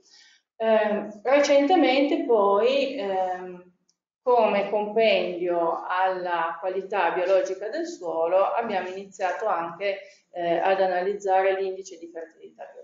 Perché? Perché ci siamo detti ok, eh, i microartropodi sono un ottimo indicatore, abbiamo però anche la biomassa microbica e, e in base a quanto lavora eh, abbiamo dei risultati di fertilità biologica molto diversi. E quindi abbiamo cominciato con, seguendo il metodo proposto da, dal gruppo di lavoro di Atlas, giusto, ehm, ad analizzare anche ehm, l'indice di fertilità biologica che è composto da eh, frazionamento del carbonio, quindi carbonio organico totale, carbonio della biomassa e indice di respirazione della biomassa. La combinazione di questi tre parametri, ma penso che tutti quanti siate a conoscenza della cosa, eh, si eh, realizza una serie di punteggi, ci sono poi dei parametri derivati che sono la respirazione basale giornaliera, quella 27 giorni, eh, il quoziente metabolico e il quoziente di mineralizzazione. Tutti questi parametri direttamente misurati o derivati hanno un punteggio che sommato ci va a dare la, eh, la, la classe di appartenenza di, dal punto di vista della fertilità biologica. Ovviamente questo lavoro lo facciamo sul topsoil dopo aver attivato i, la biomassa portando i, i, campioni di suolo alla capacità di campo e incubandoli per un tempo, un tempo sufficiente, almeno 24 ore, e dopodiché eh, sottoponendoli ai vari trattamenti. Abbiamo adottato questi due indici perché? Perché tra quelli proposti sono i più speditivi. Il nostro problema è sempre quello, il numero dei rilievi da fare per arrivare eh, a eh, estendere il monitoraggio su, sulla griglia necessaria per dare la risposta alla Regione Piemonte. Quindi un indice, non che questi siano semplicissimi, perché comunque l'estrazione con l'estrattore di Bellese Tunren implica che questi campioni siano giorni, giorni, giorni sotto la lampada e poi il momento della determinazione, comunque del riconoscimento delle specie presenti eh, nel campione estratto va fatto da persone che lo sanno fare e richiede comunque tempo. È vero che è più speditivo di altri perché basta individuare un individuo eh, appartenente a quel taxon e automaticamente si dà il punteggio, quindi rispetto tipo al rapporto Acari con l'Emboli che è, è folle da calcolare su tanti campioni, questo è sicuramente molto più speditivo e più immediato. Eh, e comunque anche eh, l'analisi del frazionamento del carbonio e eh, dell'indice di respirazione hanno dei tempi molto lunghi per via delle incubazioni, eccetera, eccetera. Comunque la combinazione dei due, eh, poi vi parlerà Fabio di questo, di questo sì, del fatto del, del come combinare punteggi Ehm, comunque, in linea di massima eh, ci dà una panoramica che per le nostre esigenze va bene per definire la qualità eh, di un suolo sia per quanto riguarda eh, la biomassa microbica che per quanto riguarda eh, i microartropodi. Detto questo, vabbè, questo è, è quanto, eh, e questa è la classificazione del punteggio del, della classificazione dell'indice di, di fertilità biologica. Come lo abbiamo applicato? Allora, innanzitutto ehm, il QBS a noi è servito, appunto, dicevo, per dare delle risposte all'efficacia di certe, di certe misure, azioni e operazioni dello sviluppo rurale eh, sulla biodiversità del suolo. Sulla biodiversità anche più in generale, mh, perché per rispondere al, ai grandi domandoni all'inizio abbiamo cominciato a arrampicarci un po' sui vetri, poi pian pianino abbiamo affinato i sistemi. Quindi sostanzialmente noi abbiamo fatto delle analisi controfattuali eh, per uso del suolo. Quindi abbiamo provato a vedere eh, che differenze ci sono fra un suolo naturale, fra gli elementi dell'ecosistema eh, a contributo PSR, cioè ehm, siepi filari, piccoli, piccole aree boscate, eccetera, rispetto al loro coltivo di riferimento. Quindi io ho bisogno di fare un confronto fra eh, il campo arato e la siepe che gli sta immediatamente accanto. No? Eh, coltivazioni legnose, vite fruttiferi, eh, e quindi lì eh, abbiamo anche approfondito la questione inter- inerbimento degli interfilari. Eh, in Piemonte ci sono eh, diverse decine di migliaia di ettari eh, a eh, sottopremio inerbimento degli, degli interfilari e quindi anche lì abbiamo cercato di capire se rispetto all'interfilare lavorato e rispetto al filare ci fossero delle differenze, quindi se il contributo di questa operazione eh, potesse essere significativamente positivo. Ehm, nel caso di seminativi e di colture apticole. Poi abbiamo confrontato i vari disciplinari di produzione, produzione integrata PSR, la produzione biologica e il convenzionale, in confronto a un incolto di riferimento sempre preso nel, nell'ambito di prelievo. Eh, diserbi in confronto a lavorazioni meccaniche e ehm, anche rispetto al compattamento, ieri eh, si citava eh, l'indicatore del compattamento chiedendosi ehm, se potesse avere o no un significato.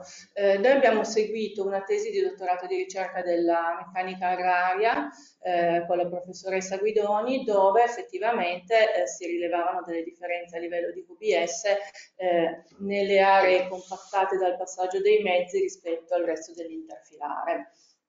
Dopodiché ehm, nell'ultimo PSR abbiamo avuto contributi per la semina su sodo, eh, per ehm, la minima lavorazione e per l'ammendamento con sostanza organica di pregio.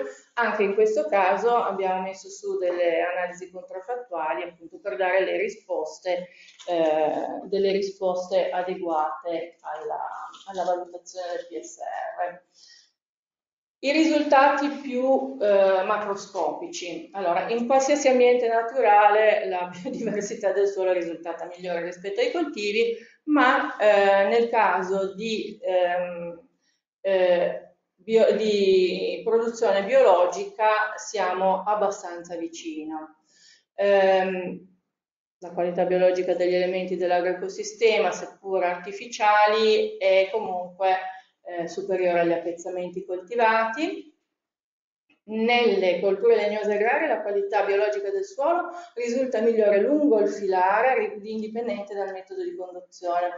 Questo ci ha fatto un po' pensare insieme ad altri risultati che abbiamo ottenuto, tipo per esempio il confronto fra un diserbo e una lavorazione, eh, fra una geodisinfestazione chimica e una lavorazione, che tutto sommato ci sembra che, anche se i risultati non sono altamente significativi, ehm, che la perturbazione da compattamento da lavorazioni disturbi l'eversione molto di più di un trattamento chimico, cioè sembra che probabilmente queste si ripigliano, scappano sotto e poi si ripigliano e risalgono. Ehm, e del, del, monitoraggio apistico vi parla Maurizio dopo e quindi eh, non vi dico niente. Sugli aspetti metodologici, ehm, nel caso dei eh, noi abbiamo riscontrato, dunque, abbiamo fatto prelievi in primavera e in autunno. Abbiamo riscontrato qualche problemino eh, quando le campagne di prelievo non erano svolte eh, contemporaneamente. Cioè se io faccio un'analisi di gruppi di confronto vado nei due, tre giorni di campagna, quando il clima è giusto, quando eh, ha piovuto non un mese fa, ma magari una settimana fa, eccetera, mi metto nelle condizioni ottimali e faccio tutti i prelievi a tappeto più o meno contemporaneamente. In questo caso abbiamo dei buoni risultati. Ultimamente eh, con la siccità che c'è stata primaverile, autunnale, eh, eccetera, è chiaro che eh, le difficoltà aumentano soprattutto quando il QBS, il campione per il QBS viene prelevato contestualmente al rilievo pedologico, perché il pedologo va in campo a scavare il profilo secondo un suo programma. No? Quindi in realtà per associare con massimo, la massima efficacia eh, il, il, risultato del QPS all'Atlante pedologico bisognerebbe forse fare quasi una, eh, una campagna a parte. No, Fabio non è d'accordo. No, certo. Dico eh, due cose io. Eh, vabbè, questo, però vabbè, e questo è Ecco, e poi comunque il costo cresce perché eh, eh, se noi dobbiamo fare tre replicazioni per ogni sito per essere sicuri, perché è vero che eh, cioè se io faccio tre buchi e piglio tre campioni, magari trovo il Pro Tour in un campione non lo trovo negli altri due, quindi un campione non mi basta. Ehm, l'incontro casuale della bestiola ci lascia sempre un po' così nell'ansia di capire se questa c'era per caso o se effettivamente appartiene a quel suolo. No, il fatto di trovare eh, tanti individui, tanti taxa con individui depigmentati, con gli uccelli atrofizzati, le appendici atrofizzate, eccetera, ci dà garanzia che questi eh, stanno effettivamente vivendo in quel suolo, per carità. Eh, però comunque eh, è, è, una cosa che ci lascia un pochettino di ansia, ecco, dico così. Poi per carità, no, poi c'è da dire che diamo il punteggio, ma poi infiliamo eh, i nostri dati sull'analisi, sulle chiavi dicotomiche per fare la classificazione di fertilità biologica, quindi eh, ci riportiamo un pochettino al grande gruppo e quindi diciamo eventuali eh, incertezze in un certo senso vengono un pochettino accorpate. L'IBF. L'IBF non l'abbiamo ancora mai utilizzato nelle attività di valutazione dello sviluppo rurale, eh, però è stato è abitualmente applicato per la, la redazione del, dell'Atlante. Eh, Considerazione di tipo metodologico, facilmente standardizzabile, non dipende appunto, come già detto, dalle condizioni di prelievo, è applicabile anche a suoli che noi abbiamo già in casa, quindi comunque all'inizio per fare un po' di rodaggio del metodo avevamo anche eh, visto campioni già prelevati e, eh, e, avevamo aumentato un pochettino il, il pool di dati per ragionare. Eh, ecco, il processo analitico è un po' complesso, per esempio ci sono alcuni piccoli intoppi a cui bisogna prestare molta attenzione, per esempio quando si fumiga il campione per fare il confronto dell'analisi della biomassa, bisogna poi fare questi lavaggi ripetuti sottovuoto del campione, se non si fanno bene quelli potrebbero generare delle sovrastime e, e quindi è un passaggio da, da tenere un po' un po' sotto controllo, oppure delle infiltrazioni di aria durante il saggio di respirazione, perché quando noi incubiamo il campione per un lungo tempo possono succedere delle cose, delle variazioni di temperatura della camera climatizzata, insomma, quando si tiene un campione su per tanto tempo possono succedere delle cose. Eh, diciamo che la, la, replicabilità del risultato dà minore variabilità insieme rispetto al QBSR, ma utilizzati insieme comunque eh, ci danno delle buone risposte sulla salute del nostro suolo. Ehm, ecco, questioni aperte, il costo. il costo del, del prelievo e dell'analisi, soprattutto del QBSR, qualora appunto si dovessero fare delle campagne di prelievo che non coincidono con la campagna di rilievi pedologici. Ehm, la messa a punto di un indice che definisca la biodiversità del suolo a partire dalla combinazione dei due e la scala di valutazione in rapporto alla qualità dei suoli piemontesi. E quindi qui eh, il discorso magari lo riesce a approfondire meglio Fabio che è un po' più addentro ma oggi non c'è tempo. Comunque restano un po' questioni aperte come... io avrei finito. No, dico due parole io dico due parole su questi ultimi due punti cioè il, il, diciamo il discorso di fare, applicare questi due indici anche alla, alle, alle, eh, alle, indagini pedologiche nasce da una collaborazione con Anna Benedetti, perché Anna Benedetti aveva illustrato nella scuola della biodiversità a cui ho partecipato tutti gli indici, che c'erano di tutti i vari esperti, e quindi si era deciso insieme con lei a, a, diciamo così, a provare l'indice IBF anche diciamo, su un'area di, di, campionamento pedologico per vedere i risultati, abbiamo fatto anche una pubblicazione insieme, però diciamo che siamo sempre rimasti estremamente prudenti sul discorso della spazializzazione, per cui il sottoscritto si è presa la briga e la responsabilità di fare dei commenti nelle report che facciamo alla Regione Piemonte commentando eh, i, i, risultati del, del QBS e dell'IBF, diciamo rispetto ai campionamenti, ma eh, riducendo al massimo le considerazioni di spazializzazione con una proposta di cartografia solo basata sull'IBF e non certo sul QBS, perché nessuno di noi oserebbe mai spazializzare il QBS, eh, invece l'IBF sì. Eh, Ci sono appunto poi, come dice Fabio, ampie discussioni a suo tempo avute con Rosa Francaviglia e Anna Benedetti a Roma discutendo proprio sul metodo e sul fatto che comunque c'è eh, il metodo stesso fa, eh, congela una situazione di campionamento perché potendolo fare sul tritato e essiccato a 2 mm, quindi il timing di confronto è fondamentale di campionamento.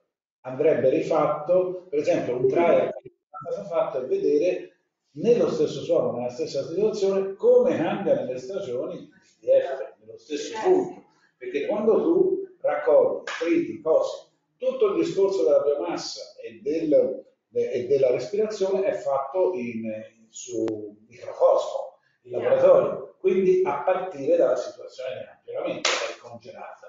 Eh, quindi la biomassa è quella di del mondo, perché poi nella situazione reale cambia, quindi c'è questo problema. A, per standardizzare dovrebbe essere campionati sempre tutti nello stesso momento. Allora questo impedisce però di fatto poter utilizzare campioni pedologici presi in aree diverse. Capito? Per cui ci sono dei problemucci. Tant'è che vedemmo nel Lazio e eh, anche con le applicazioni che hanno fatto direttamente a Roma con la Benedetti, eh, eh, Biorella, Regione Lazio e eh, Regione Lombardia, che in alcuni casi, prendendo vecchi campioni metodologici, non discriminava molto perché c'erano date diverse sostanzialmente. E quindi noi presupporremmo che ci fosse risultati non comparabili. Bisogna stare un attimo. Ma secondo me comunque ci sono anche altri mille di fattori che influiscono, perché l'uso del suolo, cioè paradossalmente, se io oggi prelevo in un campo coltivato, poi questo campo viene concimato, eh, cioè butti dentro azoto già deprimi molto un certo tipo di biomassa. Un'ora di ritardo. No, no, Quindi cioè, chiaro, o fai un'analisi fattuale o... Eh. Cioè, vediamo alla fine se c'è poi spazio, perché non vorrei che c'è gente che poi deve scappare e andare via. Maurizio Quirino, nostro collega che si occupa in particolare del QBS, nonché di monitoraggio acquistico. E vari altri monitoraggi. Cercherò di fare veloce. Allora, si è parlato di noccioleti già ieri, l'aumento dell'interesse sia economico eh, che commerciale della nocciola, il terreno noccioleto sta aumentando non solo in Piemonte, ma in tutta Italia, quindi abbiamo messo a punto questo monitoraggio a partire dallo scorso anno, anche sulla luce del lavoro dell'ISPRA, dell'applicazione del PAN, che ha coinvolto noccioleti, se non sbaglio, nel Lazio, e quindi abbiamo utilizzato anche Piemonte abbiamo utilizzato i due metodi QVS e censimento lepidotteri eh, a fianco del monitoraggio apistico che era già iniziato alcuni anni fa. Due parole velocissime su lepidotteri e api. Il monitoraggio apistico era nato per valutare lo stato di salute dell'ambiente indipendentemente da singole misure del PSR, in quanto il volo d'ape di 3 km impedisce di lavorare sulla singola misura, ma per capire se le aree agricole più intensive un, creano un ambiente più o meno sano rispetto a una zona agricola meno, meno intensiva. Quindi abbiamo alcune postazioni eh, in aree agricole intensive di frutteti, noccioleti, aree seminative e dei cosiddetti bianchi, quindi in zone dove l'agricoltura è fondamentalmente costituita da prato, pascolo e poco d'altro. Una di queste postazioni è appunto questa qua sul noccioleto, eh, le analisi sono fatte su apiari che in collaborazione con Aspromiele e il fitosanitario della regione, di alcune analisi, oltre alle epidemiologiche, anche eh, multiresiduali di matrici delle, delle, delle api, eh, polline e miele soprattutto, e in caso di mortalità anche capire la causa della mortalità delle, delle api.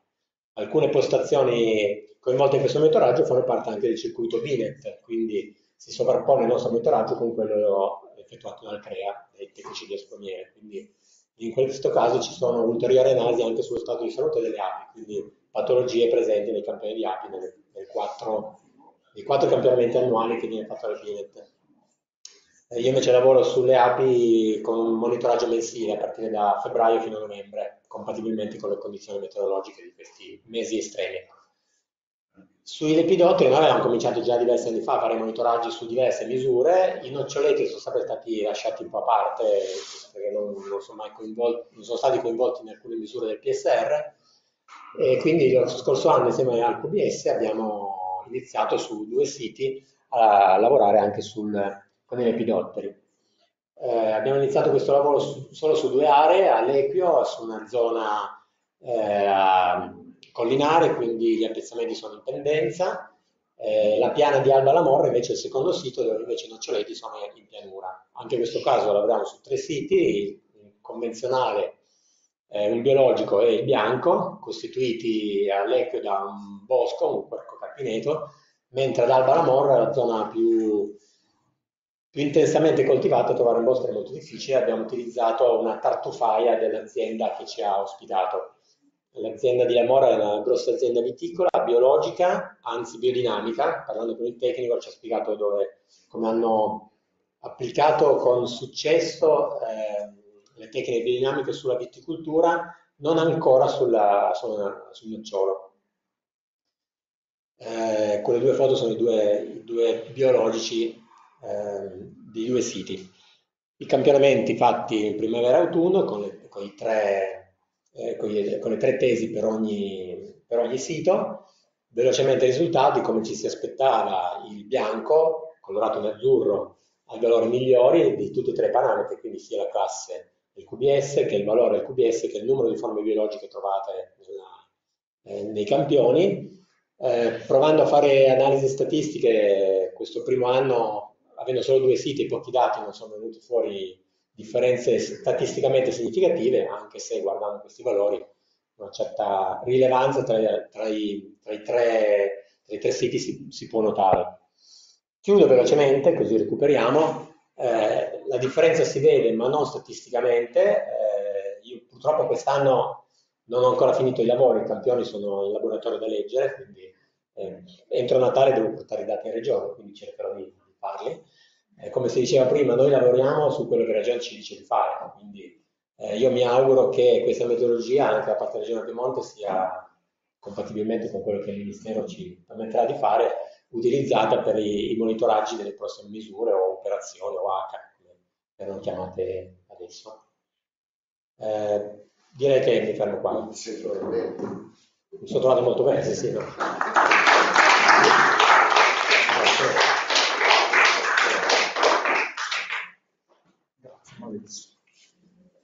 Grazie mille a Maurizio. Proseguiamo, direi, ripeto appunto il dibattito, proviamo a vedere alla fine se abbiamo un po' di tempo per farlo compatibilmente con le fughe di ciascuno.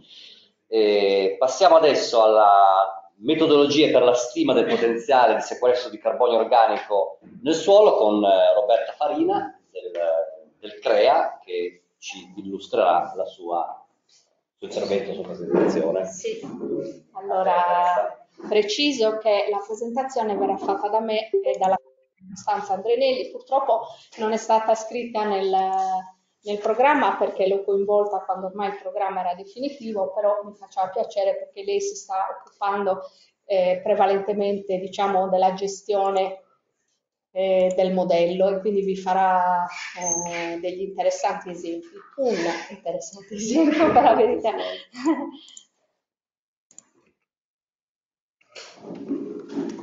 Grazie. Allora, abbiamo evocato eh, molte volte eh, il carbonio organico del suolo in questi giorni, quindi noi vi vorremmo illustrare eh, quali possono essere le metodologie per la stima del potenziale di sequestro del carbonio organico nel suolo e illustrarvi anche eh, un esempio di applicazione di queste metodologie. Perché è importante stimare il potenziale di sequestro del carbonio organico dei suoli? Perché lo sappiamo, i suoli hanno un'ampia capacità di stoccaggio, probabilmente eh, anche diciamo non, anzi non sfruttata completamente, però possono anche emettere gas serra, quindi noi eh, dobbiamo sempre eh, trovare un equilibrio tra l'input di carbonio e, e le uscite. Quindi quantificazioni precise sono diciamo, richieste per predire l'effetto delle pratiche di gestione del suolo agrario, per valutare la sostenibilità delle diverse opzioni di gestione a diverse scale, per poter supportare le decisioni nel settore pubblico e privato. Abbiamo bisogno, come ho appena detto, di mantenere un bilancio neutro o positivo tra il sequestro del carbonio e le emissioni di gas serra, che più delle volte non sono solo CO2 ma sono anche altri gas serra, quindi eh, magari anche con un potere maggiore di eh, eh, influenzare eh, il clima.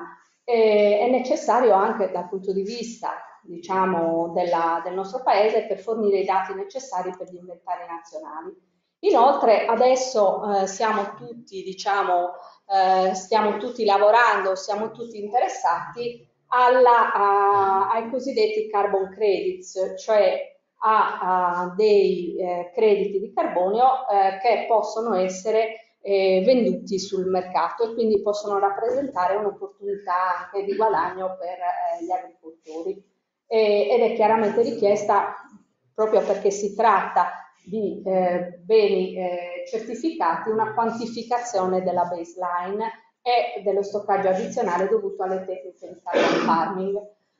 Uh, qual è il problema con il carbonio organico, ma anche con, con tutti i suoli? Il problema è che le possibili combinazioni di suolo, clima, colture, gestione delle colture sono, non dico infiniti, ma um, veramente numerosi e non è pensabile, questa è per esempio uh, una immagine della, di, di una zona italiana, non è pensabile di poter monitorare tutti questi usi del suolo e, queste, eh, e tutti questi suoli eh, diversi. Eh, è per questo che vengono utilizzati i modelli biofisici. I modelli biofisici non sono altro che la sintesi delle conoscenze che noi abbiamo sulla dinamica del carbonio nel suolo o di altri fenomeni che avvengono nel suolo che ci permettono di stimare eh, le potenzialità di sequestro di carbonio nel suolo, la dinamica del carbonio in tutte quelle situazioni in cui le misure non possano essere effettuate. Non possiamo pensare eh, di misurare il carbonio in ogni centimetro cubo eh, di suolo eh, e di grande importanza sono anche quelle di fare delle previsioni per eh, il futuro, che si tratti di cambiamenti climatici o che si tratti di nuove tecniche eh, di gestione, nuove specie, eccetera. Eh, I modelli eh, sappiamo che in particolare per il carbonio organico la dinamica del carbonio organico è regolata da processi molto complessi che eh, vedono entrate eh, prevalentemente dovute ai residui vegetali eh, e le radici e uscite di vario genere, quindi non solo la CO2 ma anche le perdite diciamo come eh, dissolved organic carbon, eh, e eh, qui non è citata ma abbiamo anche eh, la perdita sotto forma di eh, metano. E, ehm, questi fattori quindi che come vedete sono molto numerosi sono stati incorporati in numerosi modelli di simulazione che una volta validati per una determinata zona possono essere utilizzati per prevedere i futuri cambiamenti del carbonio organico. Che cos'è un modello? Il modello non è altro che un'astrazione della realtà eh, normalmente quando parliamo di modelli biofisici sono una serie di equazioni matematiche che sono state incluse in un programma, in un software e che quindi funziona diciamo, in una sequenza continua di eh, alimentazione del carbonio organico e di uscite del carbonio organico.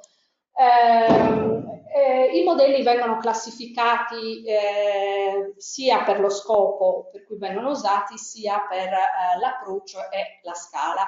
Per quanto riguarda lo scopo, eh, i modelli possono simulare eh, praticamente quasi tutto, ma per quanto riguarda il suolo possono simulare o solo la dinamica del carbonio o possono simulare anche la crescita delle culture, l'idrologia, l'azoto, eh, il fosforo, le rotazioni, le lavorazioni, possono veramente simulare moltissime delle operazioni culturali che vengono svolte. Per quanto riguarda l'approccio abbiamo oh, modelli basati sui processi meccanicistici, cioè quello che noi sappiamo della dinamica di un determinato fenomeno, modelli statistici, modelli empirici, in cui eh, poi dirò esattamente cosa sono, e per quanto riguarda la scala partiamo dal campo, azienda, regione, paese, fino all'intero eh, eh, pianeta, diciamo così, quindi sia una scala spaziale che temporale e chiaramente la scala temporale è sempre più ampia man mano che noi andiamo ad aumentare anche la scala uh, spaziale. L'approccio empirico è eh, molto usato, lo usiamo anche noi normalmente quando parliamo e discutiamo di un fenomeno perché è una rappresentazione in una forma di una semplice formula matematica di una relazione che noi abbiamo osservato tra una variabile e ehm, il suo effetto sulle emissioni.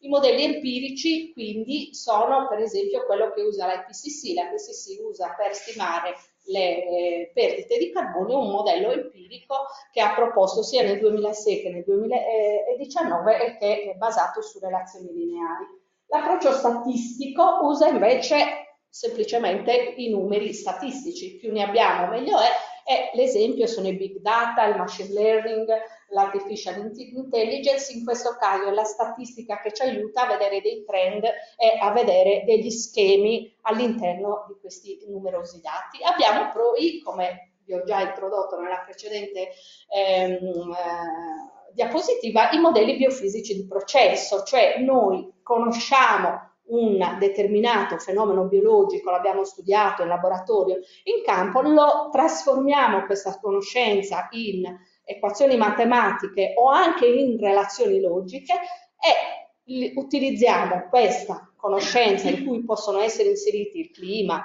eh, il tipo di suolo, eccetera, la utilizziamo per prevedere l'influenza di fattori biologici e fisici su un sistema complesso come quello del suolo. La scelta dell'approccio è importante perché dipende da che cosa? Il livello 1. Il livello 1 è quello di base ed è usato quando abbiamo una disponibilità minima di dati storici di clima, suolo e culture, con tutti i dati correlati ovviamente. E eh, il limite di questo livello 1 che di fatto corrisponde a quello che si usa per la FCC, è che i cambiamenti del, del carbonio sono lineari che il carbone organico viene considerato come un unicum e non si considerano i pool, e che spesso i pochi dati disponibili con cui sono stati messi a punto i fattori di emissione sono stati creati normalmente in alcuni paesi europei, non in tutti, e eh, negli Stati Uniti, quindi non sempre sono applicabili nelle nostre realtà operative. Nel livello 2 invece sono disponibili dei dati storici, quindi clima, suolo, sistemi culturali, uso del suolo, rese, gestione culturale, eccetera, a livello locale e nazionale. Quindi vedete qua passiamo da dati diciamo globali a dati locali e nazionali e e le stime vengono prodotte con modelli basati fisicamente, quindi simulano solo però le dinamiche del suolo, questo è il livello 2 che è anche corrispondente diciamo al Tier 2 dell'IPCC e eh, in questo caso il limite è che non vengono simulate le crescite delle piante, quindi questo l'input di carbonio dalla vegetazione viene stimato e eh, in genere questo tipo di modelli stima solo la dinamica del carbonio e le emissioni che quantifica sono quelle di CO2 e basta, e gli altri gas serra non sono considerati. Il livello 3, che è quello anche considerato Tier 3, diciamo, nell'IPCC, è un livello in cui noi abbiamo dati storici a livello locale e nazionale come nel livello 2, però eh, scusate questa non l'ho tradotta, però è basato sull'uso di modelli ecosistemici. Il modello ecosistemico simula anche la crescita delle colture, simula l'idrologia del suolo, simula diciamo tutto l'ecosistema e quindi in questo caso è ovvio anche le uscite del modello sono molto più precise eh, però questo, il limite di questi modelli è che richiedono dei dati georeferenziati complessi su suolo, clima, uso del suolo e anche una notevole eh, esperienza e eh, capacità dell'operatore, del ricercatore o di chi lo utilizza per la calibrazione e la run del modello stesso. Quindi come possiamo fare a scegliere il modello migliore per la nostra situazione? Ecco, dobbiamo considerare i dati disponibili e vi dico anche il livello di competenza di chi usa, competenza, di esperienza, eccetera, e il livello di complessità dei modelli. Come vedete, quando non ci sono dati, possono comunque essere fatte delle stime utilizzando sia l'IPCC o anche delle equazioni di primo grado, se uno ha delle relazioni che ha misurato già nel proprio campo, le, le può applicare a un livello più alto con una disponibilità di dati media, quindi siamo a livello di complessità 2, ci sono dei modelli molto interessanti, molto usati e che danno dei risultati ottimi. Noi utilizziamo ROTC e eh, devo dire che eh, ROTC tra i modelli proposti diciamo nella, eh, nel Tier 2 è, è, sicuramente quello più utilizzato nel mondo ormai e in tanti paesi viene usato anche per la per la baseline dei crediti di carbonio o per costruire la baseline del carbonio organico eh, nel, nei suoli. Considerate che anche a livello uh, di EJP Soil nel progetto Carbosec a cui il CREA partecipa, eh, io sono responsabile proprio per la parte eh, della eh, modellizzazione, stiamo creando un toolbox che poi verrà messo gratuitamente a disposizione di tutti perché l'abbiamo costruito su R e questo toolbox è basato su ROTC. Quindi eh, diciamo anche a livello europeo diventerà eh, il modello di riferimento. Esistono poi dei modelli fantastici, Stix, Ceres, Apsim, Epic, che insomma anche noi al CREA abbiamo usato, il Dayscent, sono dei modelli veramente potenti che simulano tutto, lo, lo scibile eh, sul suolo, che vi danno le emissioni anche di metano, di, di di protossido d'azoto, eccetera, però richiedono una grande disponibilità di dati e una grande competenza da parte dell'operatore. Vi dico che per imparare a usare Epic un anno non è sufficiente per imparare ad usarlo bene. Ci vuole veramente tanto tempo, noi ci abbiamo speso intere giornate, io, Claudia e Chiara, ad eh, imparare ad usarlo eh, decentemente. E quindi la, la, panoramica, questa ve la lascio a futura memoria, a dei modelli più comuni. Eh, qui sono, eh, vedete il modello, eh, la scala spaziale a cui questi modelli possono essere applicati e ehm, i dati richiesti da ciascun modello. Come vedete ehm, il modello ecosistemico è quello che ha la lista più lunga di dati eh, ma eh, comunque anche eh, i modelli di processo sul suolo sono abbastanza importanti. E qui in maniera molto semplificata eh, per le stime nazionali possono essere usate tutte le tre tipologie, tutti e tre i livelli eh, di modelli. Per esempio per comparare le pratiche di gestione non ha senso usare l'equazione dell'IPCC perché l'equazione dell'IPCC è molto eh, poco discriminante nei confronti delle pratiche agricole. Ottimizzazione dei servizi ecosistemici non possono eh, cioè non sono affidabili i modelli diciamo, utilizzati eh, livello 1 e livello 2. Scenari di cambiamento climatico è necessario usare il livello 3 perché eh, il cambiamento climatico influenzerà anche la crescita delle colture, quindi è ovvio che eh, se noi utilizziamo uh, modelli diciamo, di livello 2, a meno che non abbiamo eh, dei dati interessanti da utilizzare, magari eh, meglio di no, per il life, uh, cycle assessment il livello 1 non è previsto e sono previsti il livello 2 e il livello 3. Per la condizionalità, per esempio, eh, questi sono i suggerimenti della FAO, sarebbe meglio utilizzare il livello 3.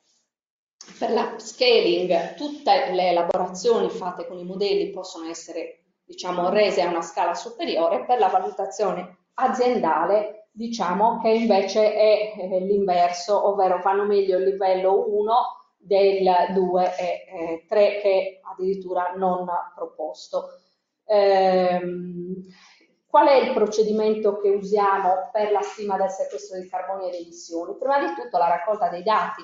La raccolta dei dati è sempre una cosa importante da fare perché ci servono dati di suolo, clima, uso del suolo e gestione per unità omogenea l'armonizzazione di questi dati e il controllo della loro qualità, dopodiché c'è l'inizializzazione e la parametrizzazione del modello. Per l'inizializzazione intendiamo eh, la stima dei eh, dati iniziali di carbonio, di tutti i dati del suolo, insomma carbonio eh, in particolare. Eh, la parametrizzazione invece eh, riguarda il fatto che si cambino alcune delle equazioni interne del modello per renderlo più rispondente alla situazione in cui lavoriamo, parametrizzazione che deve essere fatta sempre con molta attenzione e cautela e infine la validazione su dati misurati. Poi abbiamo l'esecuzione o run del modello, l'analisi dei risultati chiamati diciamo in gergo modellistico gli output la preparazione poi di tabelle, grafici e mappe, quindi l'interpretazione dei risultati. E ehm, dove andare a reperire questi dati? Per quanto riguarda i cambiamenti climatici, i, i dati, le, le, nostre regioni italiane hanno le loro stazioni e quindi possono usare i dati reperiti in regione, però per quanto riguarda i cambiamenti climatici esiste un database eh, costruito eh, dall'AgriForecast e eh, si possono prendere eh, i dati qualora questi non fossero disponibili a livello territoriale. Questi sono già stati spazializzati, analizzati e, e quindi il AgriForecast è una, una risorsa. Tra l'altro qui trovate anche ehm, le simulazioni delle rese eh, di alcune colture, in particolare del frumento, devo dire non è che sono tanti, eh, tante cose. E questo non ci interessa. Ecco, eh, qua arriviamo a un problema un pochino più eh, come a noi servono le rese per calcolare il carbon input quando usiamo i modelli di livello 2. Quindi, ehm, e ci servono anche nel modello 3 per validare gli output del modello. Anche quando usiamo un modello ecosistemico, la validazione viene fatta sulle rese. Quindi eh, vengono usate per calcolare gli apporti del carbonio dal suolo eh, per tutti quei modelli che non simulano la crescita delle colture. Quindi livello 3 validazione, livello 2 eh, apporto di carbonio al suolo. In genere sono ottenuti da statistiche. Magari sarebbe interessante avere dati più puntuali, eh, per esempio quelle dei quaderni di campagna che riportano, eh, penso, anche le rese. E un altro eh, fattore, diciamo, eh, delicato nella raccolta dei dati è la successione delle colture. Sono stati messi negli ultimi anni appunto eh, numerosi strumenti per ehm, monitorare la successione delle colture eh, sia nello spazio che nel tempo, quindi se ci sono colture singole con associazioni o eh, nel tempo monocolture, rotazioni, colture multiple e colture naturalmente permanenti. Eh, esistono diversi strumenti chiave, foto aeree, immagini satellitali, misure dirette al suolo, ovviamente non dimentichiamo questo, e, ehm, e le metodologie sono censimenti, indagini sul terreno, l'interpretazione delle ortofoto e delle osservazioni eh, satellitari, quando si lavora a livello diciamo, eh, geografico ampio è chiaro che tutti questi dati vanno raccolti per tutto il territorio in cui noi intendiamo lavorare e possibilmente per un tempo abbastanza lungo, se possibile, per, per poter fare le nostre rotazioni. E I dati eh, possono essere disponibili anche dalle agenzie di pagamento, quindi abbiamo i sistemi integrati di amministrazione e controllo, di identificazione delle particelle agricole, i famosi LPIS eh, a livello di particella catastale, addirittura i controlli spot e eh, dare la richiesta di sussidi da parte delle aziende agricole. Ovviamente per una regione questi dati forse sono più disponibili, per noi ricercatori è quasi impossibile accedere a questi dati, non sono messi a nostra disposizione perché sono considerati e sono probabilmente dei dati sensibili e quindi eh, noi spesso siamo costretti a fare, come diciamo noi, cricettini nella ruota per cercare di raccogliere questi dati in maniera indiretta, però sarebbero fondamentali. E qua vediamo a quelle che sono la gestione delle colture, lavorazioni, rotazioni, fertilizzazione, irrigazione, gestione dei residui, eccetera, che sono veramente le informazioni più difficili da reperire. E infatti le, eh, le IACS, cioè le Information System, riguardano solo le aziende che richiedono i sussidi PAC, sono presenti i dati sulla vendita dei fertilizzanti che sono aggregati e non sono per azienda. L'adozione di pratiche di lavorazione conservativa non è sempre riportata, non è sempre reperibile. I volumi irrigui spesso non sono effettivamente dati, non sempre sono disponibili. La gestione dei residui ugualmente, perché può anche variare di anno in anno a seconda della qualità, della quantità dei residui, eccetera. Quindi questo è un vero lavoro da detective, cioè andare a reperire queste informazioni è uno dei lavori che ci ha impegnato di più quando abbiamo fatto eh, l'attività la, che ora eh, vi illustrerà eh, la mia collega, che riguarda appunto l'applicazione di una nostra metodologia che proponiamo anche alle, alle regioni e siamo anche disposti a, a fare dei corsi eh, in cui ci confrontiamo, perché noi possiamo parlarvi del modello, ma certamente per quanto riguarda i dati voi avete eh, e anche per quanto riguarda la parte geografica avete certamente molta più esperienza di noi, eh, però vi raccontiamo come con tutte le difficoltà che vi ho illustrato sopra noi siamo riusciti ad aggiornare eh, la, la, la, diciamo, il, la la quantificazione del carbonio organico eh, in un'area, il tavoliere della Puglia, eh, portandolo eh, dal 94, insomma quando erano stati fatti i rilievi fino al 2004 e eh, Costanza vi racconterà ah, come siamo riusciti a fare e quali, eh, quali metodologie abbiamo usato. Quindi lascio la parola a Costanza. Grazie.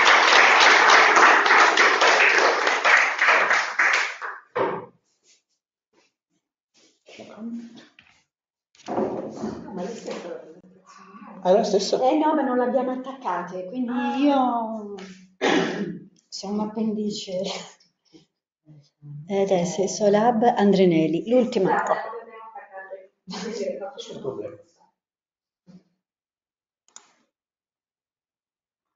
Infatti io non ho la prima slide, ma attacco direttamente.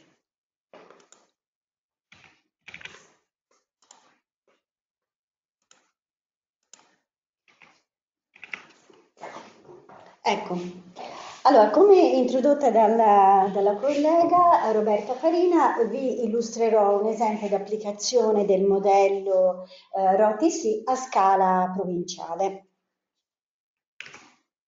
Eh, come sempre introdotto, allora il CREA ha messo a punto questa nuova metodologia eh, per eh, implementare un modello biofisico che è tipicamente a scala puntuale rappresentato da ROTC, eh, interfa- uh, scusate, ah, inter- interfatta- interfacciandosi con una serie di banche eh, dati nazionali che sono state preventivamente organizzate su strati informativi spazializzati adottando opportuni algoritmi geostatistici.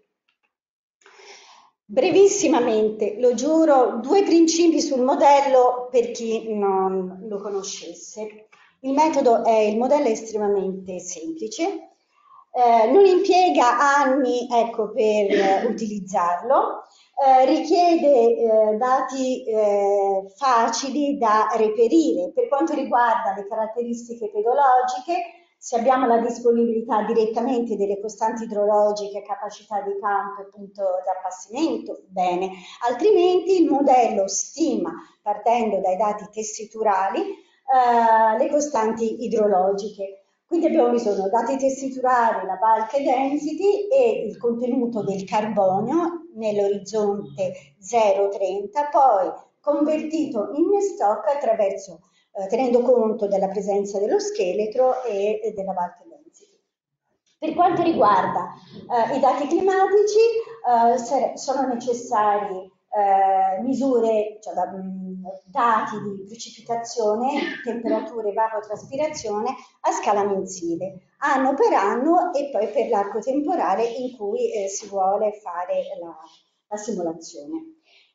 L'interazione tra questi due eh, dataset consente di effettuare un bilancio idrico semplicissimo, bucket, quindi il serbatoio idrico tra 0 e 30 cm si riempie e si svuota nell'arco dei mesi. E il livello eh, del contenuto idrico viaggia tra il wilting point e la, eh, la capacità di campo estremamente semplici. Sappiamo che il suolo può andare anche al di sotto della capacità di campo, al di sopra della capacità di campo, ma anche al di sotto delle wilting point. Però diciamo, visto che il modello è a scala mensile, queste assunzioni sono adeguate. L'altra fonte di dati è, eh, è quella correlata alla cultura e alla gestione della cultura stessa. Questo è il punto nevralgico, come ha detto la collega, perché qui c'è il clou del carbon input. Il, la cultura e la gestione mi dice la quantità di carbonio che entra nel sistema e la sua qualità. Cioè, a seconda della cultura e dei residui, se ho delle, ho delle cover crop o meno, io ho qualità e quantità diverse di carbonio che entrano nel sistema. Quel rapporto che ho indicato DPM-RPM eh, praticamente ti dice Com'è questa, questo carbonio che entra nel sistema? Com'è questa sostanza organica? Facilmente degradabile o no? Tipicamente per i seminativi il rapporto si attesta su 1,44, vuol dire 60% facilmente eh, degradabile e eh, il rimanente più resistente. Questo però non è questo è l'input. Il carbonio entra nel suolo. Che destino ha? Il destino, cioè il tasso di mineralizzazione di trasformazione dipende dall'umidità del suolo, dalla temperatura che influenza sulla velocità delle cinematiche e dal contenuto d'argilla che è responsabile della eh, mobilizzazione della trasformazione della sostanza organica in eh, anidride carbonica. Quindi partiamo, ogni pool RPM DPM si scompone in sottopool, CO2 esce dal sistema, mentre la frazione umificata e la biomassa microbica va incontro a, a successive trasformazioni ma rimangono nel sistema. Quindi, alla fine, facciamo dopo un anno lo stock del carbonio nel, presente nel suolo dipende dalla quantità della frazione sotto forma RPM, DPM residua più la frazione complessiva umificata e la biomassa microbica. La CO2 è andata via.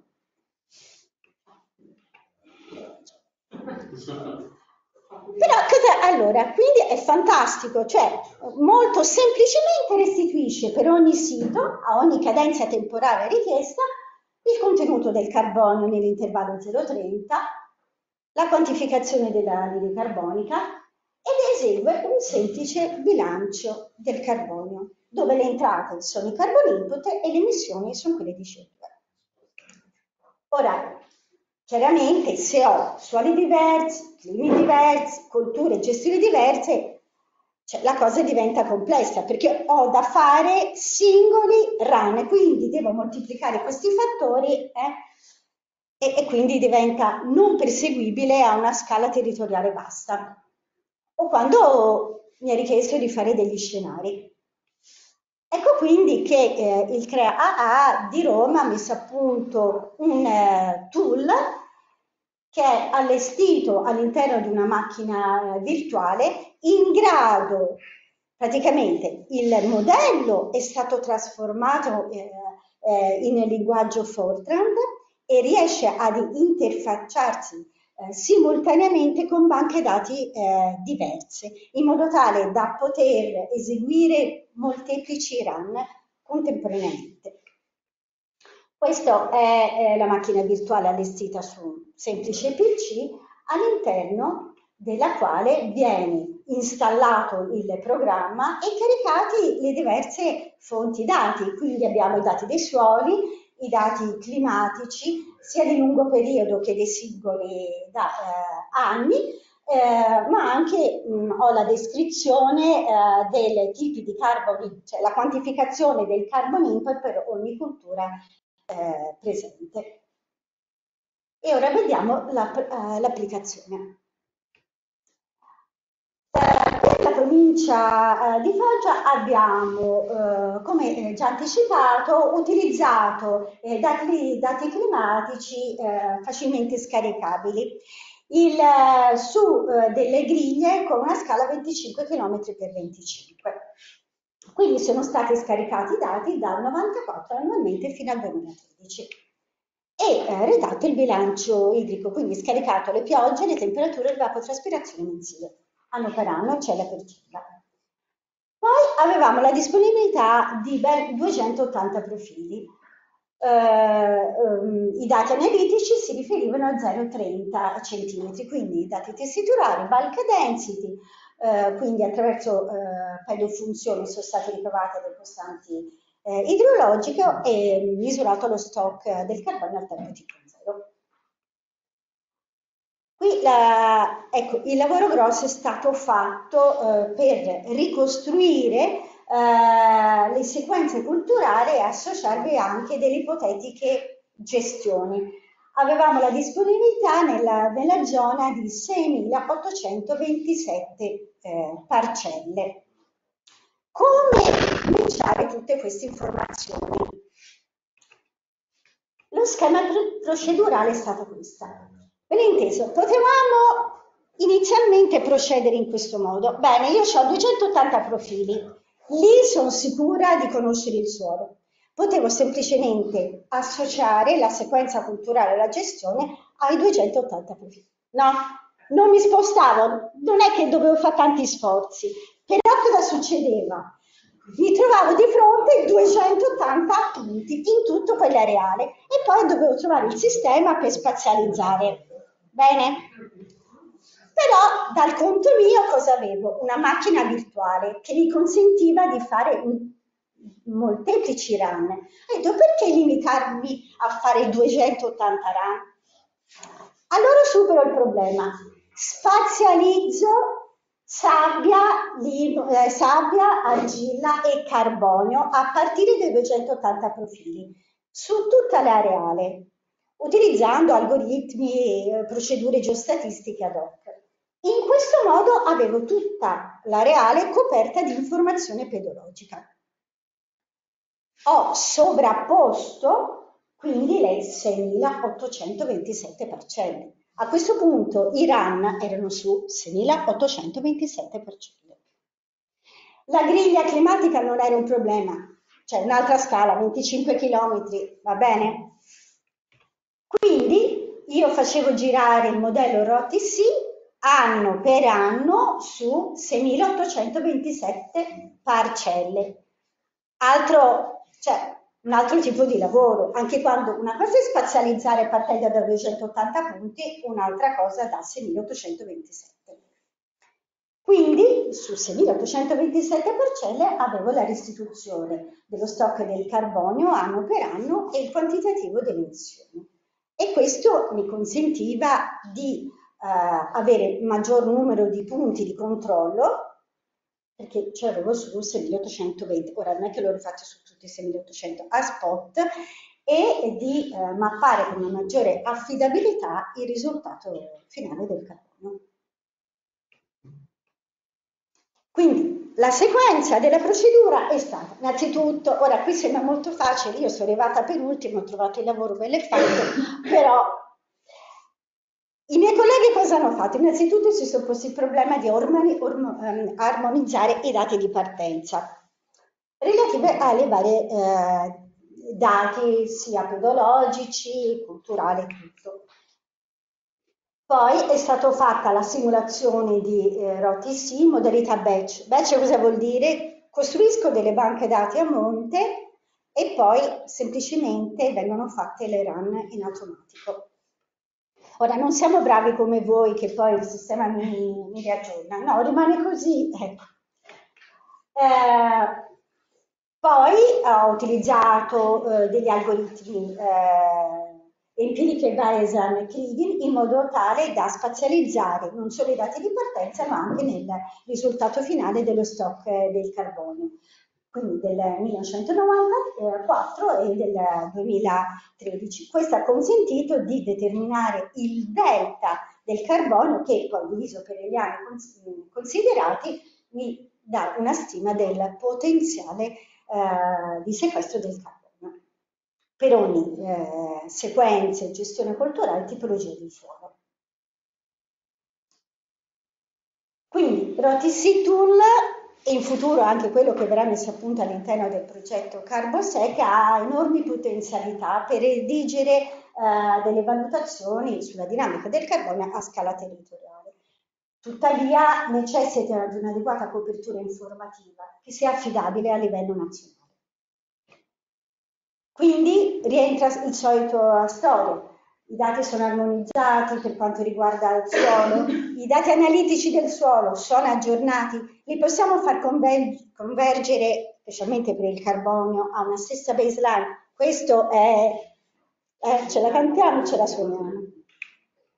Ed infine abbiamo sempre il problema di ricostruire in modo affidabile, accurato, sia eh, la cultura presente ma anche la gestione.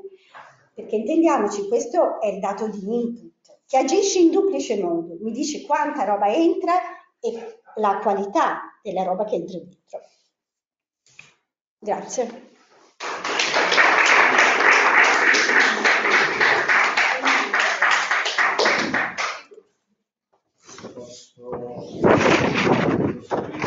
Ritardo un'ora, eh? Sì, Vai. Vai, piccola. No, Sì. Noi abbiamo una piccola postilla, questo è un lavoro già pubblicato su Agriculture, Ecosystem and Environment. Eh, ora stiamo andando avanti con Carbosec e faremo un nuovo, eh, un avanzamento perché i metodi di digital soil mapping nel frattempo si sono evoluti, perché questo una cosa già di diversi anni fa, e, è molto interessante e stiamo andando avanti appunto che sarà frutto dell'attività di benchmarking fatta in Carbosec di vari modelli. Qual è il problema? L'unico problema è capire come l'errore eh, geostatistico spaziale eh, si, eh, diciamo, si in, interferisca con l'errore modellistico attuale. Perché praticamente noi mettendo insieme le due cose abbiamo, dobbiamo capire questi due errori come in qualche modo si combinano, se si moltiplicano, se no, e quindi ci sono varie prove di benchmarking proprio per capire eh, questo aspetto qui e probabilmente andremo avanti con un'ulteriore pubblicazione su questo argomento. Grazie Rosario per la postilla. Adesso passiamo dal potenziale di sequestro alla carta degli stock del carbonio del Sole d'Italia. Maria Fantapiegia qua, gli ridiamo la parola. Allora, salve, eh, dunque questo lavoro che vi presento, come vedete, seguite tutti i nomi, io lo presento io, ma eh, perché diciamo ho coordinato insieme a Edoardo Costantini l'attività ormai diversi anni fa, eh, ma eh, ha coinvolto eh, tutte le persone che qui vedete segnate, insomma, quindi diverse regioni d'Italia, oltre al CNR e ISPRA. Allora, eh, innanzitutto vi faccio un anticipo su quella che era la condizione prima, eh, questo non è la carta appunto che l'ha fatta tutti insieme, ma quella che già avevamo noi prodotto interamente al CREA con la nostra banca dati. Eh, infatti vedete gli autori siamo io, eh, Giovanni Lavati e Edoardo Costantini. Quindi avevamo già prodotto eh, una carta, anzi in realtà tre carte con livello di carbonio eh, su queste tre decadi, ehm, con un metodo che vi verrò eh, a, a spiegare ma ve la volevo presentare per mh, parlare principalmente delle basi eh, su cui si fonda la mappatura eh, del carbonio organico, eh, che ovviamente i metodi di spazializzazione ce ne sono dei più vari, cioè statistici, statistici, eccetera. Eh, in questo caso eh, si è applicato una regressione lineare multipla. La cosa interessante è che abbiamo fatto uno studio precedente per capire eh, come il carbonio organico viene influenzato da eh, determinati parametri molto interessanti, sono per esempio il regime termometrico, dove si vede chiaramente un effetto molto molto statisticamente importante, e il regime udometrico, anche quello molto importante, e si vede anche come ci sia un effetto eh, predominante dell'uso del suolo dove c'è eh, per grandi gruppi di uso eh, le aree agricole, i pascoli e i boschi hanno sicuramente dei livelli di contenuto di carbonio organico completamente diversi. Eh, L'altra questione che abbiamo visto è che nelle tre decadi si è avuto un, un, primo decremento con un, un piccolo incremento eh, fra la seconda e la terza che fa ben sperare, insomma. Uh, ma ecco, l'importante di l'importanza di questa slide è per farvi vedere che in un, in un sistema di regressione lineare multipla diciamo, l'effetto dei vari parametri che vai a, a, investigare è esplicito, ci sono proprio dei coefficienti dove tu vedi parametro per parametro eh, l'effetto più o meno, quindi ha la, la sua, eh, il suo motivo di essere, di esistere. Uh, quindi eh, cosa è successo? Sulla base del fatto che Crea comunque aveva la banca dati eh, e che per anni insomma aveva fatto un'attività di coordinamento per la relazione delle banche dati d'Italia, eh, al momento in cui la FAO ha lanciato appunto la prima iniziativa di mappatura globale, che è quella del eh, contenuto dello stock carbonio organico del topsoil, eh, eh, il Ministero ha eh, indicato il CREA come organismo che coordinasse l'attività, no? e qui c'è l'incarico affidato a Edoardo Costantini. Eh, allora, la, eh, la, differenza rispetto al precedente articolo che vi ho fatto vedere, dove eravamo noi con la nostra banca dati, è che in questo caso invece abbiamo coordinato, non dico tutte le regioni italiane, ma una gran parte. Eh, e questo è stato diciamo, l'apporto positivo di questa attività. Eh, per fare questo, eh, appunto, la, ci sono state due questioni fondamentali da affrontare. Una, la condivisione dei dati, per cui abbiamo fatto degli accordi, i famosi accordi di cui parlava eh, Rosario ieri, in questo caso erano specifici per la, la, redazione di questa carta, quindi noi abbiamo condiviso delle banche dati con lo specifico eh, incarico di usarle per questa eh, realizzazione. E poi abbiamo anche messo in piedi un sistema per uno scambio di dati, diciamo, più standard, per evitare errori di unità di misura e quant'altro. Ecco, quindi diciamo qui per presentarvi tutto il processo, no? eh, se uno lavora con i propri dati se la canta e se la gioca, eh, falso metodo. In questo caso c'è stato tutto un lavoro precedente eh, per cui i dati sono stati raccolti, si è stato messo in piedi appunto questo sistema di scambio dati uniforme, eh, sono stati controllati, eh, dopodiché sono stati anche armonizzati, poi vi farò vedere, eh, e come ultima tappa c'è stata appunto quella proprio della realizzazione fisica del, del sistema di mappatura, quindi digital mapping, per cui abbiamo collaborato anche con CNR. E molto molto importante per noi è stata anche la validazione, perché abbiamo eh, prodotto una prima realizzazione che abbiamo sottoposto ai servizi del suolo regionali, eh, dopodiché abbiamo fatto anche degli aggiustamenti e fatto ulteriori lavorazioni, perché in realtà nel digital soil mapping eh, il metodo può essere anche leggermente cambiato e la, la realizzazione che produci eh, la puoi anche cambiare cambiando certi parametri del sistema, quindi eh, fare una validazione con i servizi regionali è stato veramente molto importante. E, ehm, allora, riprendendo le varie fasi, eh, noi abbiamo raccolto questi dataset, ma eh, qui adesso voi vedete quelli poi effettivamente usati, no? Eh, quello che è stato fatto è eh, una armonizzazione diciamo, numerica per numero di stati per chilometro quadrato, perché in realtà eh, la nostra banca dati che, solo, che, che teniamo noi a Firenze, siamo, diciamo, abbiamo insieme fra Firenze e Roma, ehm, in realtà ha un tipo di dati che si dice cluster, perché praticamente a seconda di dove sono stati fatti i rilievi, di quanti dati abbiamo raccolto, eh, ci sono zone molto più coperte e altre molto meno. No?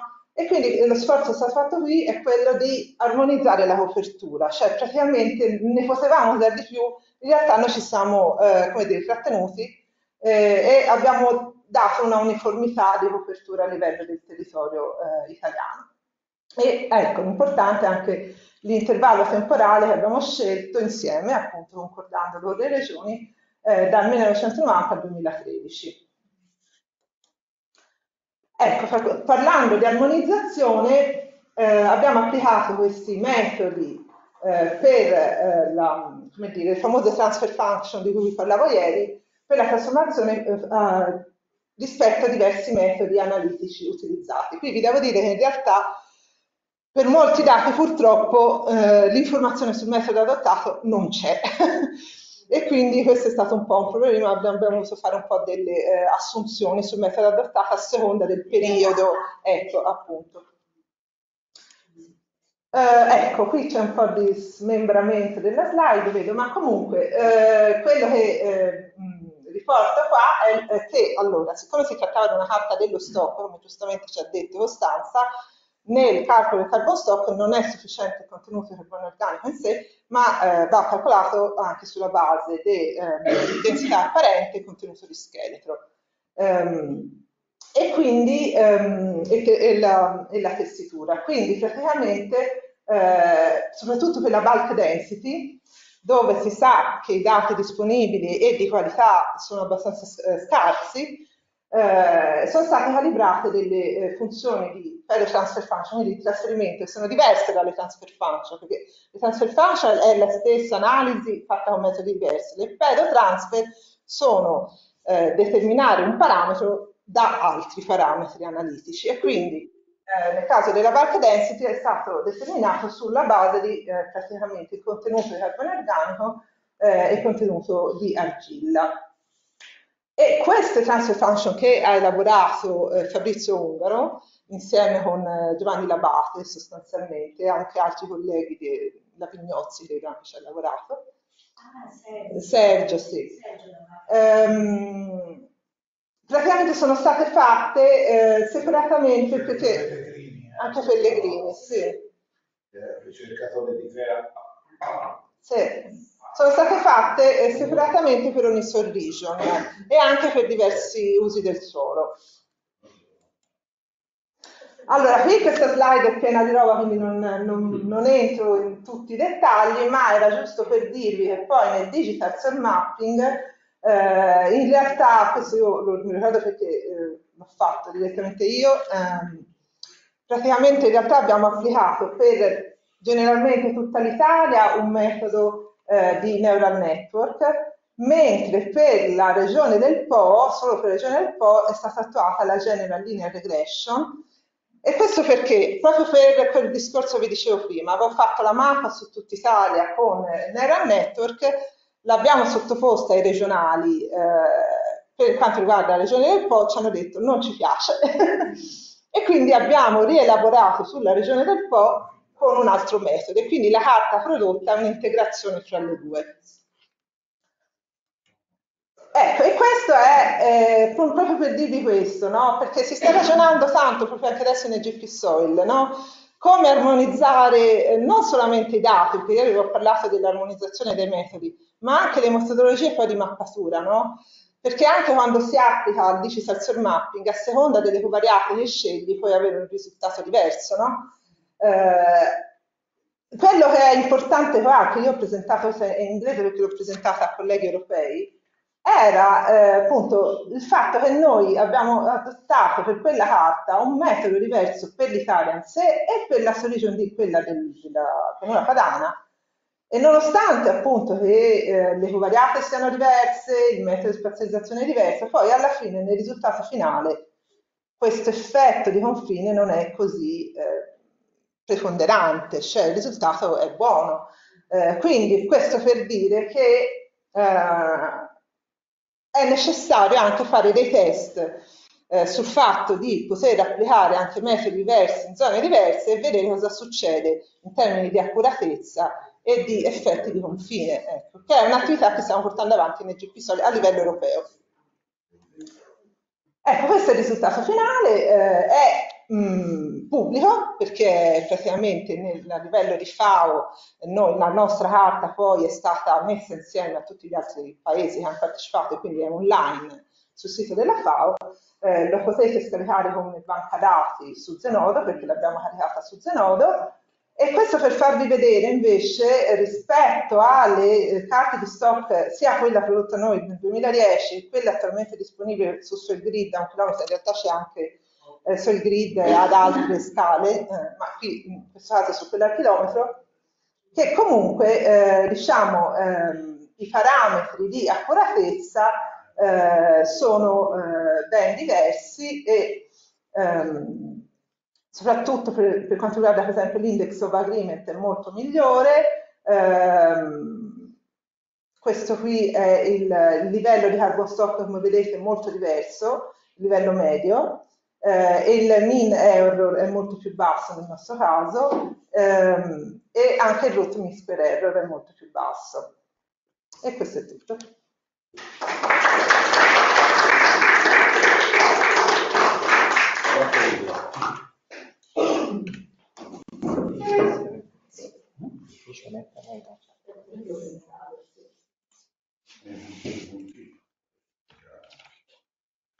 Allora, dall'Italia di nuovo al Piemonte con eh, Federico Mensio e Fabio Petrella, sono di nuovo qua eh, ad illustrarci la valutazione degli stock e degli incrementi di carbonio nei suoli del Piemonte. Sì, anche stavolta io ho il compito di fare un po' un'introduzione a quello che poi dirà Federico, nello specifico le varie redazioni della carta degli stock del carbonio dei suoli del, del Piemonte e spiegarvi che in realtà IPLA, che non è solo suolo, eh, si occupa anche di foreste, si occupa di biomasse e quindi tutto lo studio che noi abbiamo incominciato a fare eh, del carbonio parte da un po' più lontano, parte proprio dal protocollo di Kyoto, in quanto eh, IPLA ha incominciato a monitorare eh, i flussi di carbonio in foresta inserendosi nei, nei progetti nazionali e internazionali. Eh, quindi dicevo, eh, inserendosi nei progetti che c'erano già a livello europeo e nazionale, essenzialmente facendo riferimento all'Università della Tuscia, al professor Valentini, che è stato il primo a inserire, a, a portare in Italia i metodi delle decovariance. Quindi Diciamo che noi, il sottoscritto è stato coinvolto in, questa, in questo discorso incaricato da IPLA, da Regione Piemonte, eh, abbiamo portato le Dicovariance in Piemonte eh, al Parco della Mandia e cominciato a misurare i flussi eh, in foresta. Quindi siamo però rimasti coinvolti in quelli che erano i progetti allora eh, nazionali e, e quindi eh, si parlava già dei piani di sviluppo rurale ancora adesso il contesto, del, qui c'è questa slide che spiega come sono contestualizzati i piani di sviluppo in un discorso più generale di eh, registro del, del, carbonio, quindi anche del bilancio, dei flussi, eh, anche a livello nazionale, perché comunque il Ministero deve rispondere di, questi, eh, di questo bilancio ai fini dell'accounting di carbonio.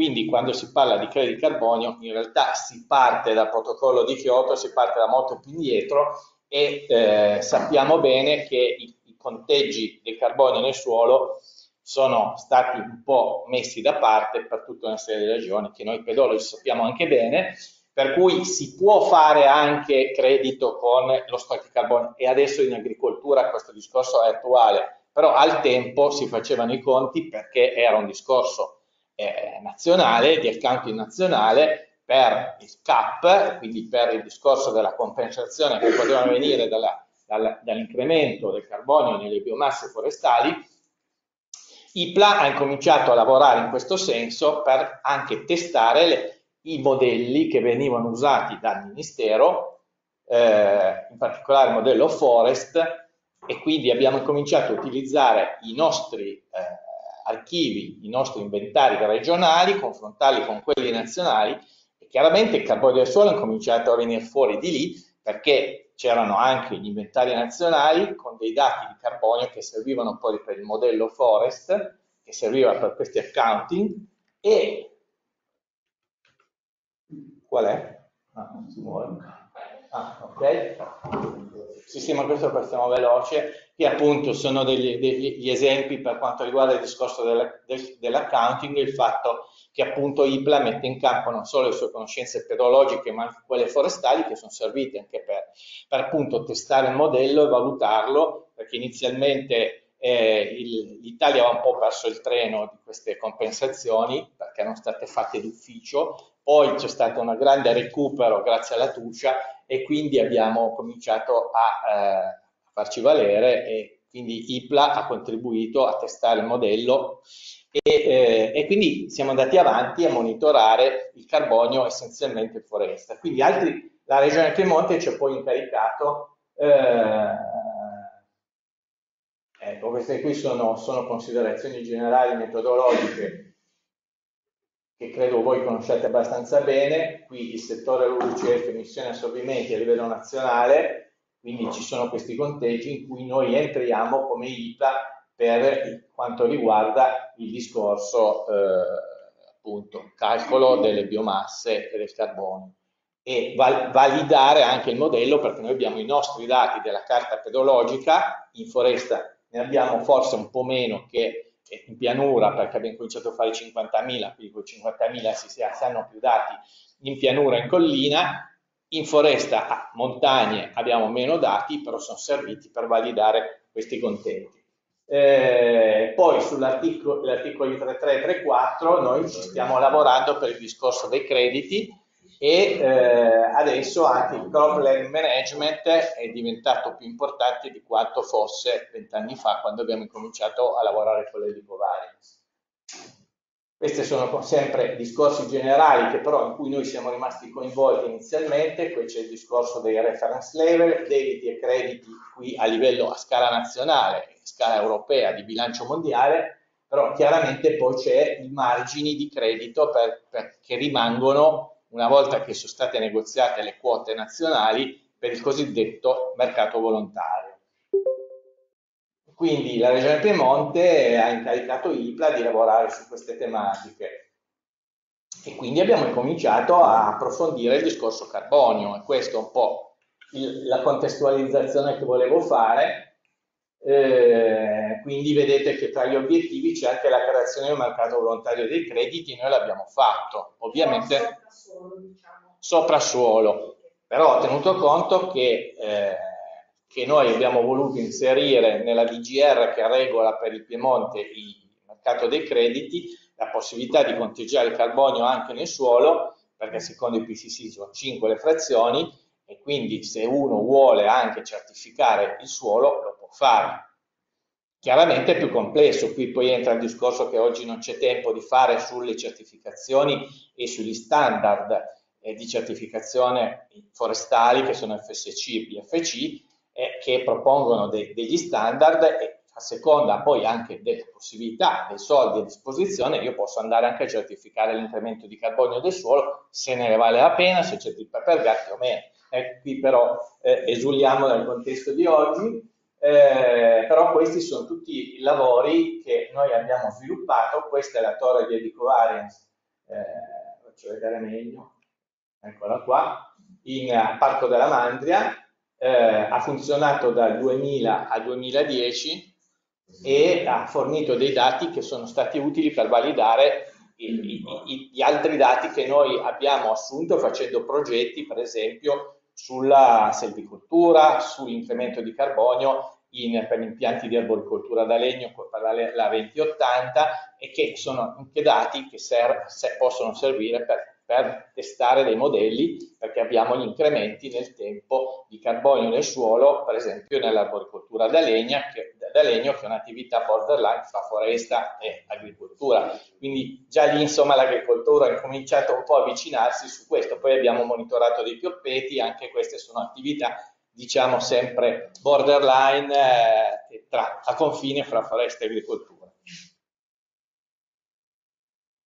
Quindi altri obiettivi, c'è il discorso del, del rilievo dato al protocollo di Kyoto dei fattori naturali capaci di sequestrare il CO2, eh, tipo appunto colture e foreste per attivare una migliore gestione ambientale del territorio regionale, quindi politiche regionali, questi sono i dati che vi dicevo, eh, anche qui abbiamo anche eh, fatto dei confronti, eh, ci sono degli incrementi partendo da, da una conversione, quindi cambio d'uso, da, da risicolo suolo che, che, quindi era depauperato a eh, impianto di arboricoltura da legno, quindi vedete che ci sono degli incrementi, poi ci sono molti più dati, io qui devo fare una carrellata velocissima, però abbiamo fatto poi dei confronti, molti più, eh, eh più siti di, di monitoraggio, una dozzina in tutto il Piemonte, sia arboricoltura da legno eh, sia forestali.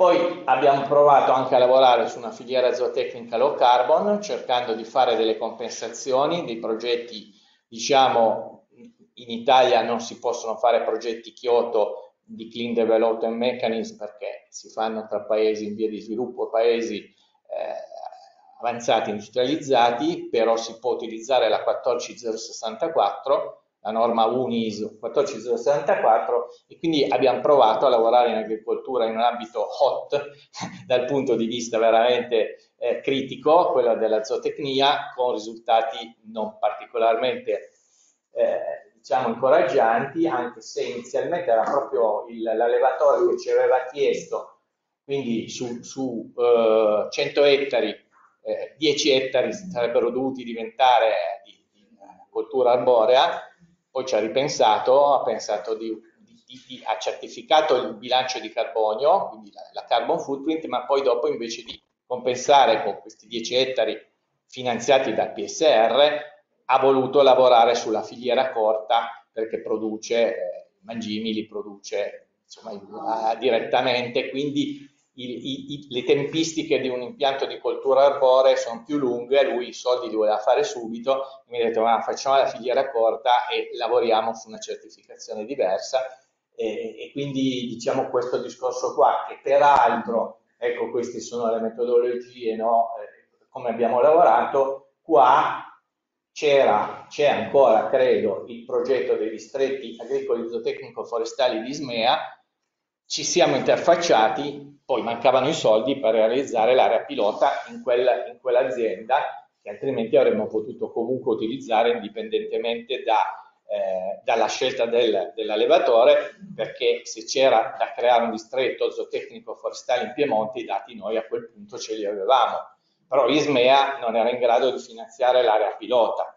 E quindi Regione Piemonte per motivi diciamo di strategie politiche non ha voluto più di tanto sostenere questo discorso, però diciamo che abbiamo una metodologia di lavoro, delle, delle, insomma, dei, dei, dati anche di riferimento importanti. Per, per, per un esempio di, una, di un'azienda suinicola ad alto impatto nelle zone di, di Villafelletto Vottignasco, che sono quelle a, eh, di, di, alta intensità zootecnica, simili a quelle che poi ci sono anche in Lombardia e in Emilia Romagna.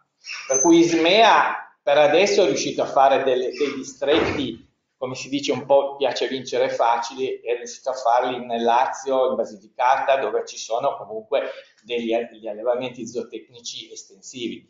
E invece in pianura padana, insomma, ci sono dei problemi. Detto questo, gli obiettivi raggiunti li ho spiegati, quindi le implementazioni di una rete di monitoraggio di stock di carbonio e, e la realizzazione di un inventario l'abbiamo fatto e poi abbiamo cominciato anche a lavorare sulle carte, analisi, controlli delle dinamiche del carbonio nel tempo, qualcosa abbiamo, chiaramente non c'è una rete vera e propria in pianura, però come vi dicevo abbiamo eh, una rete di monitoraggio per esempio sull'arboricoltura da legno, anche se ormai la 2080 è finita e quindi diciamo un po' si è fermato il tutto, però ci sono parecchi dati. E poi tutto il discorso del mercato del carbonio forestale e attualmente lo stiamo implementando anche nell'urban forestry. E quindi le carte del carbonio vengono, de, de, degli stock del carbonio vengono un po' fuori da, da questo grande concept. Eh, qui vedete i nostri inventari forestali dove c'è anche il suolo e chiaramente ci sono le, le applicazioni con gli algoritmi Forest che vi dicevo che abbiamo validato con i nostri dati. Quindi questi sono gli aggiornamenti 2015 quindi per le foreste sappiamo tutto, abbiamo le cinque frazioni PCC e poi in, qui abbiamo la cartografia di cui parlerà adesso Federico del carbon stock che abbiamo fatto col CNR, luci e ombre di, queste, di questa applicazione che verranno spiegate in dettaglio adesso.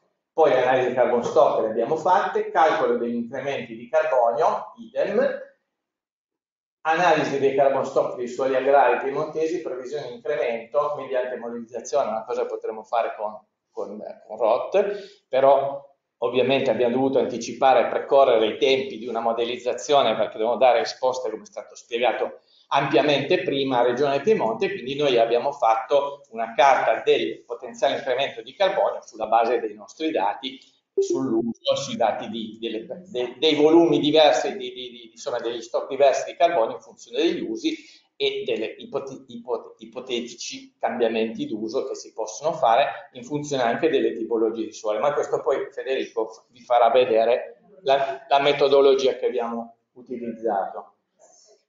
Implementazione di monitoraggio, estensione del concetto di mercato, ecco questo è un altro punto estremamente importante il mercato del carbonio nasce, come ho spiegato, 25 anni fa, no? mercato obbligatorio, mercato volontario, però poi dopo, insomma, in certe aree, in certe zone non c'è trippa per gatti dal punto di vista del mercato solo del carbonio e si è incominciato a sviluppare il discorso dei servizi ecosistemici.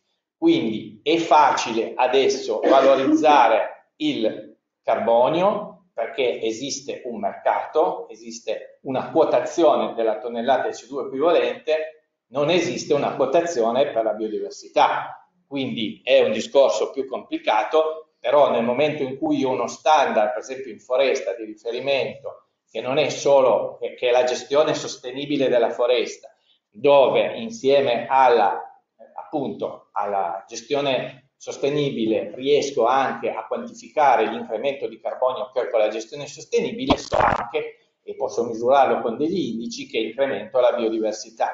Quindi quando vendo la tonnellata di CO2 equivalente con uno standard di riferimento PFC o FSC, posso dire anche che sto, eh, ti sto dando una tonnellata di CO2 equivalente, ma ti sto dando anche della, un incremento di biodiversità. E quindi il valore economico sale. Quanto sale? Noi stiamo comunque, eh, abbiamo aperto con la Regione Piemonte un tavolo uni eh, dove stiamo, adesso sta per uscire una prassi di riferimento che dà i primi, eh, diciamo, metodologie per chi vuole accompagnare alla vendita di una tonnellata di G2 equivalente anche un valore, diciamo, per adesso incorporato nella tonnellata di G2 equivalente della biodiversità di tutti gli altri servizi. No, perché adesso no, perché come, come c'è scritto qua, stiamo lavorando anche sulle aree urbane dove non c'è la vendita dei, dei, delle, dei crediti, diciamo, statali, perché le, sono soltanto le foreste che lo Stato se le ha accaparrate e quindi in, in aree urbane posso vendere tutti i crediti prodotti dagli incrementi di carbonio delle biomasse, beh, suolo in aree urbane. Se, se abbiamo già dei grattacapi fuori, figuratevi nelle aree urbane che razza di modelli bisognerebbe avere per misurare il carbonio nel, nel suolo urbano, però è una sfida non, a cui i pedologi non possono sfuggire, infatti ho visto che sono anche riferimenti poi degli indici no, nel monitoraggio alle aree urbane e IPLA sta lavorando, stiamo gestendo, iniziando a gestire dei progetti per la Regione Piemonte dove eh, studiamo i suoli urbani e quindi il carbonio e i suoli urbani non si può scappare neanche lì. Eh, la biodiversità in che, in che, in che modo? Cioè, di che tipo? E, con, e cosa mettiamo in relazione il carbone con la biodiversità vegetale, animale? So, ci sono, no, eh, sono indici di biodiversità eh, di, che, che, vengono usati in foresta, quindi riferiti vegetali. a vegetali, okay, essenzialmente sì, sì. a vegetali. Ma sì,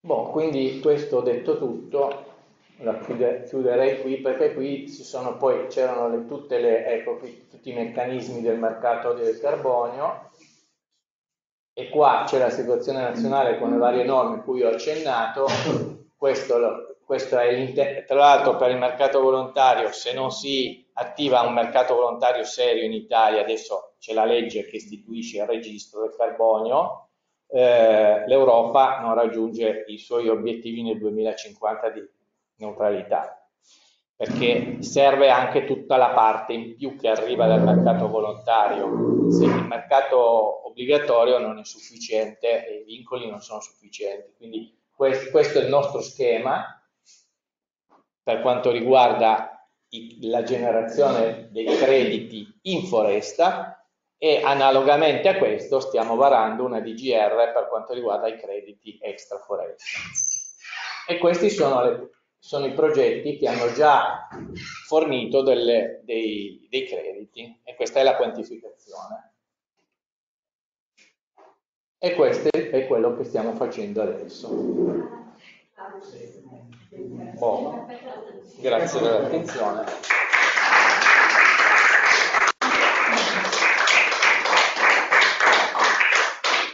mi posso permettere, conoscendolo da 28 anni, uno dei primi lavori è stato proprio una modellizzazione sui suoli, che era una breve introduzione, meno male che era breve.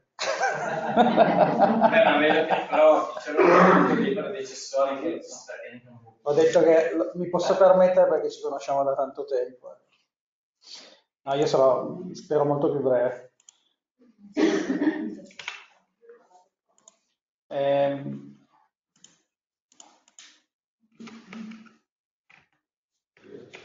Allora, come, ehm, come dicevamo ieri, vabbè, appunto, modelli per analisi dati di cartografia del carbonio nei suoli eh, del Piemonte, non ribadisco quello che ho detto ieri velocemente perché non c'era, appunto siamo un gruppo interdisciplinare, ringrazio ovviamente chi lavora e chi ha lavorato fino adesso sul campo dei suoli, eh, interno come esterno, CINS, il laboratorio, le colleghe Susanna Rosalba con la cartografia, Patrizia per eh, la parte di sviluppo informatico e ovviamente tutti i pedagogi, più quelli che lavorano collateralmente con Maurizio e Nicoletta che lavorano da tanti anni come dipendente adesso, la nostra preziosa consulente. I dati sempre quelli sono, no, di non si scappa. Eh, abbiamo fatto tre step. Allora, il primo step è quello di, eh, di un modello banale, diciamo, molto banale su base, su base statistica. Quindi partendo da quei eh, n punti di campionamento sono state fatte delle analisi chimico-fisiche sul carbonio e a base statistica semplicemente riportati i dati dei campionamenti a livello di unità eh, pedologica. Quindi mh, mm, proprio lineare, cioè non, non c'è nulla di non c'è nessun modello in realtà dietro, è semplicemente un'analisi statistica eh, è stata fatta una normalizzazione del dato topsoil e subsoil e appunto è stata attribuita la media eh, del, della quantità di carbonio da analisi chimico-fisiche e da analisi di laboratorio alle unità. Eh, la carta di sinistra è la prima carta che è risale una decina di anni fa, la seconda invece è 2010, sì, ecco, un po' di più, diciamo 13, la seconda invece è più recente, 2022-2023, come vedete eh, ci sono stati degli approfondimenti dal punto di vista delle, diciamo, dei campionamenti, delle analisi e ci dà un risultato con i colori più intensi, più, più scuri, di un aumento di carbonio, questa è una carta semplicemente del, della capacità di storo di carbonio in percentuale, in, semplicemente nei suoli. Non è una capacità, eh? scusa se ti interrompo. Lo stock, lo stock, lo stock, lo stock. Sì, sì, la, scusa, è, la è lo stock di carbonio nei suoli, escludendo ovviamente tutte le altre matrici quindi non, non abbiamo considerato l'uso del suolo, non è stato considerato eh, temperatura, e, evotraspirazione, evotraspirazione traspirazione e basta. Quindi qui è proprio solo la quantità eh, in, in, percentuale di carbonio nei suoli. Ovviamente, eh, ad esempio, un primo errore che si nota, tra virgolette, che alcuni suoli nel 2022-2023 sono bianchi perché sono i non soil, quindi sono le rocce d'alta parte di montagna che invece erano comunque state considerate statisticamente nel 2010. Il dataset di partenza è lo stesso? Il dataset di partenza è lo stesso. Allora, il dataset come poligoni sì, perché sono quasi, perché sono le unità pedologiche al 250.000 i punti no, i punti sono campionamenti fatti fino al 2010 e poi fino al 2021-2022. Quindi c'è stato un aggiornamento statistico, banalmente, diciamo banalmente statistico, che non ha considerato le altre matrici. Um, il secondo step invece è stato quello di lavorare col CNR Firenze con Ungaro eh, e non solo, con Fabrizio. Con Maria e Costanza. Assolutamente sì ed è stato quello di applicare delle covariate e quindi altre matrici che non era più semplicemente il, la tipologia di suolo, che era quella che noi avevamo fino al 2010, ma anche eh, la carta ecopedologica, le temperature medie annue e eh, il dato riferito a cinque categorie di eh, land use and cover. Quelle cinque categorie perché sono quelle che c'erano in diciamo, in, in bibliografia, il PCC, eh, con dei dati eh, diciamo, di capacità di, di stock di, di, di, carbonio per, differenziate a seconda delle, delle categorie di costo. Per fare questo abbiamo non più operato sui poligoni perché ovviamente qui si trattava di mettere elementi poligonali perché ce l'avevamo sia per quanto riguarda i suoli, sia per quanto riguarda l'ecopedologica, sia per quanto riguarda eh, il, cover, il use and cover ma ovviamente erano disomogenei perché parliamo di strati diversi anche proprio dal punto di vista eh, reale, quindi eh, suoli, soprassuolo e eh, addirittura temperature avevamo invece eh, del grigliato che non ha nulla che, nulla a che vedere con delle. Quindi che cosa si è fatto? Si è ridotto tutto il territorio a queste celle di 100 metri una discretizzazione. Questa discretizzazione ha permesso di fare tutto il calcolo modellistico non più dal punto di vista geografico, ma dal punto di vista semplicemente numerico, perché ogni, a ogni cella venivano attribuiti i singoli valori per predominanza, ovviamente, perché all'interno di una singola cella potevo avere o un'unica coltura, nel caso del bosco, eh, o nel caso dell'urbano, ma più facilmente in, celle di 100 metri a volte si trovavano 3 o 4 diversi tipi di coltura, perché abbiamo una parcellizzazione anche, questo da dire, in territorio piemontese, in particolare sulle colline, che è molto, molto frazionata. Noi abbiamo affinato la metodologia che ha illustrato Maria eh, per la carta dei carboni di stock d'Italia, a Piemonte, eh, ah. non c'è nessuna grossa differenza tra la maglia, perché 100 metri di dettaglio rispetto. A... Eh, esatto. E quindi si è approfondito un pochino il tutto. Però sei andato a prendere direttamente il valore del singolo per la spazializzazione No, no, no, no. Allora, per quanto riguarda allora, per quanto riguarda sì, per quanto riguarda i suoli si è passati dalle unità, quindi dalle fasi dominanti. Perché generalmente lo digital si va a riprendere l'informazione puntuale, però no, è stata fatta la validazione. È stata fatta la validazione. Punti sono a validare come anche nella, anche, anche nella... Però lui dice il, il, dato poligonale è il dato di unità e quindi è riferito, diciamo, in, in realtà non è alla fase, in realtà è la media dei campionamenti all'interno di quell'unità. Ecco, dell'unità e non del, della delineazione, quindi... fondamentale, ci sono varie cose da mettere a punto, io già pensavo al discorso fatto ieri, ma anche a questo, sulla poi la confrontabilità. Perché il digital presuppone, ci sono mille tecniche, eh, intanto bisogna standardizzare la tecnica, perché se uno usa una tecnica ottiene dei risultati, se ne fa standardizzare anche per varianti e standardizzare date origine che uno prende, cioè se prende la metodologia deve essere uno strato che sia confrontabile per tutti, perché se no che trovi delle, se c'hai il tuo elenco di covariate diverso dalla regione accanto, trovi delle relazioni però le covariate sono le stesse. Vedo, a, no, a, a parità di, di metodo digital, quindi c'è il metodo digital che può essere diverso, poi le covariati che possono essere diverse, le tipologie, l'elenco. I dati origine con le stesse covariate possono essere diversi. Infatti adesso vi faccio- fatto- di diversità che bisogna standardizzare. Infatti abbiamo fatto poi un, un ulteriore approfondimento. il metodo di aggancio ormai inutile.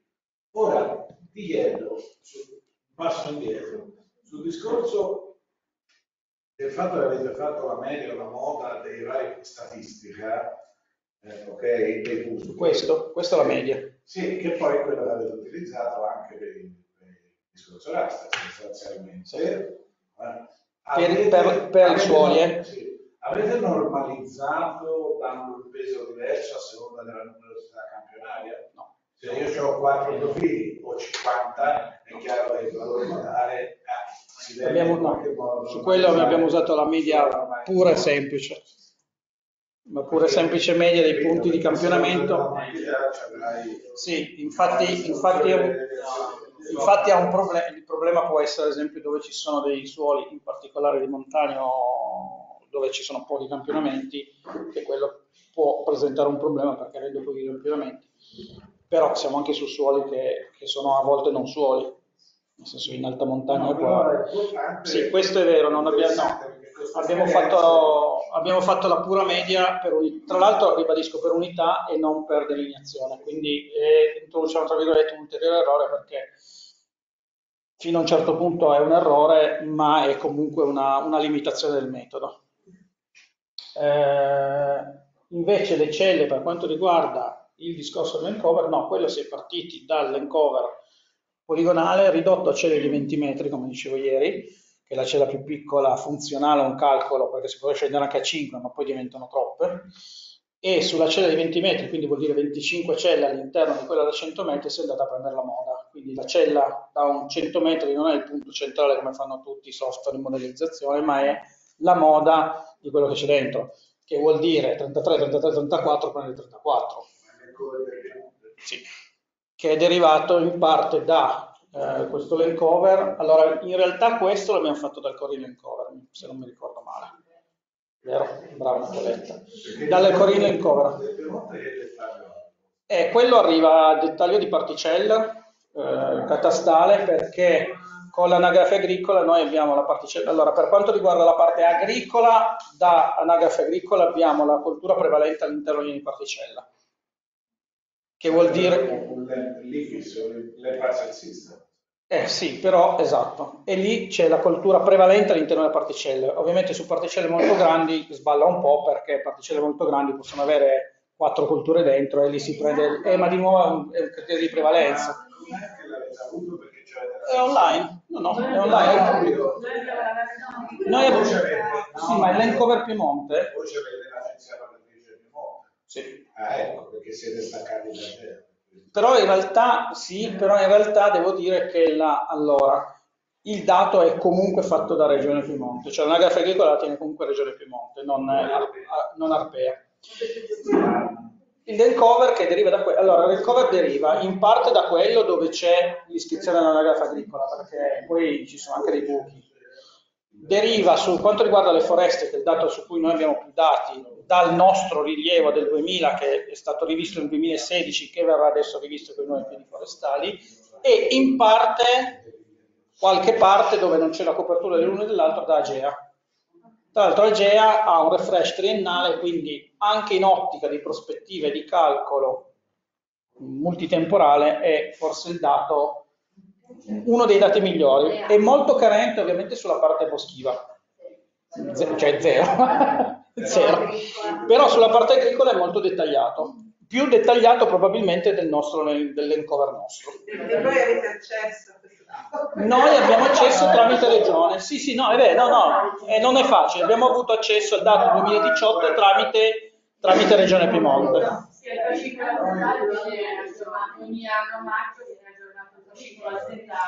Quindi diciamo tre livelli, diciamo No? È, è chiaro, beh sì, siamo fortunati, oggettivamente siamo fortunati. Quindi l'encover, eh, diciamo, abbiamo pre... attenzione, siamo fortunati, ma siccome i dati sulla capacità eh, di stock di carbonio dell'encover non è che ce ne siano tanti in bibliografia, l'abbiamo ridotto a 5 classi per questo modello. Cioè, non, abbiamo eh, che sono colture permanenti, eh, colture annuali, eh, erbai e foreste e non suolo. Quindi in realtà questo modello funziona, è scalabile sia in termini geografici sia in termini di, di dato, però bisogna avere a monte diciamo, tutta la parte bibliografica, tutta la parte di analisi sulla capacità di stock del soprassuolo. E poi non tiene conto effettivamente di altre variabili, tipo che, che sono indipendenti. Vabbè, non tiene conto perché qui non l'abbiamo fatto, in realtà qui c'è, perché abbiamo tenuto anche conto della quota delle precipitazioni, il modello fatto con CNR, quindi c'è anche quella cosa lì. La cosa è che, come poi si vede, cioè da questa carta siamo ribar, ripar, ribaltato il dato, a questo punto però per delineazione. Quindi non più solo perché quello che dicevamo prima, mentre l'unità può avere, come dire, la stessa tipologia di suolo e quindi praticamente la stessa capacità di stock, ovviamente il soprassuolo no, quindi per ogni unità può variare, varia il soprassuolo e quindi sulla carta che vedete sulla destra è stato attribuito eh, per media dei singoli pixel, perché è un dato numerico, quindi non abbiamo usato la moda perché non è un dato discreto, è un dato numerico, n decimali, è stata fatta la media sui singoli pixel, però all'interno della dimensione, quindi la stessa unità potrebbe avere valori di carbon stock eh, diversi a seconda ovviamente del, del soprassuolo, della temperatura e della quota. Il risultato è quello che vedete a destra che tende in alcuni casi a sovrastimare, in alcuni casi a sottostimare. Nel particolare abbiamo detto ieri, siccome vigneti e frutteti, noccioleti più che altro, vigneti e noccioleti per noi, ma penso anche per altre regioni, tipo Emilia Romagna in particolare Vigneti, Veneto Vigneti. Su questo abbiamo poi fatto un, ulteriore, come dire, affinamento, adesso scusate questo non c'è, eh, oh, no non c'è, non c'è, non c'è, chiedo scusa, che l'affinamento in realtà è questo, del 2023, per cui su alcune zone è stato rivisto in termini di, di, uso del suolo perché quei due usi del suolo che ho detto prima non sono ricompresi nel modello, cioè sono annegati nel modello generale delle colture, colture permanenti che sottostima un po' perché ovviamente alcune colture permanenti sono sottostimate o sovrastimate a seconda rispetto al noccioletto e al vigneto. Tanto per dire il vigneto, una delle azioni, se non mi ricordo, è l'inerbimento, che, varia, che fa variare probabilmente di non poco. Scusa se mi posso inserire una cosa, tutto questo panorama di carte è servito al, all'autorità di gestione dello sviluppo rurale perché in primis la carta del carbonio organico discrimina fra chi può aderire alla misura dell'ammendamento eh, con sostanza organica di pregio oppure no. Quindi questa carta qua sovrapposta a livello particellare con l'anagrafe agricola accende in automatico particelle eh, istruibili e particelle non istruibili, quindi chi il referente della misura che si trova eh, mezzo milione di domande sa già su quali particelle queste possono essere allora, accettate. Quale profondità si riferisce? Topsoil. Topsoil. Vabbè, sì, sì, sì, normalizzare un 0,30. Ah, sì, vedete se ho fatto uno spline. Esatto. Quindi questa è la prima discriminata. Invece il potenziale eh, di accumulo di carbonio organico è servito all'autorità di gestione invece a capire come orientare certe misure per massimizzare l'effetto della misura stessa. Cioè, quindi in sostanza... Se non vi ricordate, una c'è atmosfera che c'ha poco carbonio per cui dici vai, no, partecipo, e invece la capacità certo, è questo di riscatto. è questo il problema. Esatto. Però diciamo che gli agricoltori piemontesi più che altro vanno dall'associazione di categorie e dicono fammi pigliare dei soldi. Allora ecco, tu qua il carbonio organico lo puoi fare, fai quell'altro. In realtà, ma la realtà dei fatti è questa. Quindi il problema si pone in termini molto più Poi, come diceva giustamente ieri Igor diceva anche Fabio prima, noi lavorando su mandato regionale, a un certo punto, lavorando sui servizi ecosistemici, la Regione aveva già fatto un esperimento sulla città metropolitana di Torino di mettere un modello a disposizione dei comuni per il calcolo del carbon stock, carbon loss, derivato dal modello Invest dell'Università di Stanford, che ha tutta una serie dentro di eh, modelli, tra cui uno con cui abbiamo lavorato anche con Maurizio sulla parte degli apiari, quindi sulla crop pollination e uno dei modelli è quello della capacità di, di calcolo del carbonio, di carbon stock ed eventualmente anche avendo una multitemporalità che è basata tendenzialmente sull'encover, sull'end use and cover, di calcolare la capacità di aumento o riduzione in quel singola cella, e questo lavora solo raster, di eh, capacità di store di carbonio.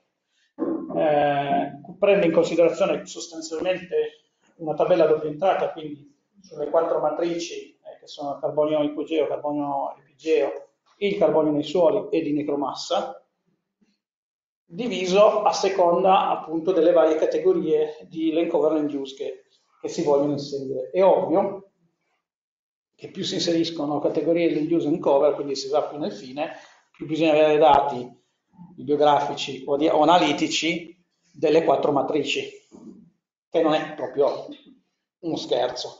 Mentre sulle foreste, per dire la, la grande esperienza che ha la fortuna di avere IPLA, potevamo dividere ancora di più, ovviamente sulle altre era praticamente impossibile. Sì, si poteva, sì. Il, prob il, problema, allora, uno, il problema è da una parte quello, dall'altra è la qualità del dato di uso del suolo. Siccome il multitemporale che noi avevamo era solo con il link cover, che non distinguo molto difficilmente al, al primo o secondo livello, bisogna arrivare al quarto, distinguere tra caducifoglie di foglie, quindi permanenti, abbiamo per il momento riunito tutto insieme. Nello specifico per i servizi ecosistemici urbani poi abbiamo inserito non solo il no-soil, che è urbano puro, ma anche quello che sono ODAR, che potevano essere quelle zone grigie, che sono in contesto urbano come parchi, parchetti, eccetera, dove ovviamente si è considerato solo il carbonio nei suoli e non nel soprassuolo, perché tendenzialmente lì poteva esserci dall'erba a quattro alberi al, al mattoncino forato, eccetera. Questo ha permesso, quelle sono due carte differenziali, di vedere dove col giallo sostanzialmente non c'è capacità di, di, di, scambio di carbonio, inteso né come eh, ritezione né come rilascio per taglio o cambio di, di destinazione d'uso. I rossi e arancioni invece sono quelli in negativo, cioè dove lì c'è stato un intervento che ha fatto perdere la capacità di studio di carbonio, in blu dove c'è invece un guadagno potenziale. Dico potenziale perché ovviamente i rossi tendenzialmente si vedono bene sulle fasce fluviali dove sono stati tagliati più pezzi. Tanto per dirne una. Sì. E, e, viceversa il blu c'è stato un cambiamento ad esempio da sì, magari inerbimento, da, da agricolo a inerbimento e questo si vede ad esempio eh, sul, diciamo, dal, sì, se vedete il carbonio eh, da bow eh, da permanent crop a grassland varia ma soprattutto il carbonio dei suoli varia tantissimo quindi quelle variazioni vengono considerate dal, dal sistema, dal modello come variazioni in positivo Ovviamente ah, quelli sono dati tonnellate ettaro anno. Una cosa che dice, che è stato detto anche prima, che sottostima ad esempio eh, l'accrescimento vegetativo. Cioè è un modello lineare, eh, il modello di accrescimento sappiamo che non è lineare ma una curva che tende a crescere subito tanto che poi si appiattisce. Questo è un, è un problema del modello. È un modello che però in realtà è un modello eh, open source anche questo, cioè ci sono i sorgenti disponibili a tutti, quindi volendo uno lo può prendere, modificare e utilizzare al volo. Ehm, sempre in quest'ottica invece abbiamo poi fatto la carta di incremento potenziale, prendendo in considerazione i valori medi di stock di carbonio per l'end use and cover, utilizzando i dati analitici e qui c'è quel discorso che si faceva prima con Fabio, cioè per ogni tipo forestale, anzi categoria, scusate, c'è un'indicazione ben precisa di qual è eh, la media di capacità di stock di carbonio. Questo è nel suolo, giusto? O, sì, sì, nel suolo. Questo, nel suolo, top soil, questo. Sempre, è sempre sì, sì, top soil.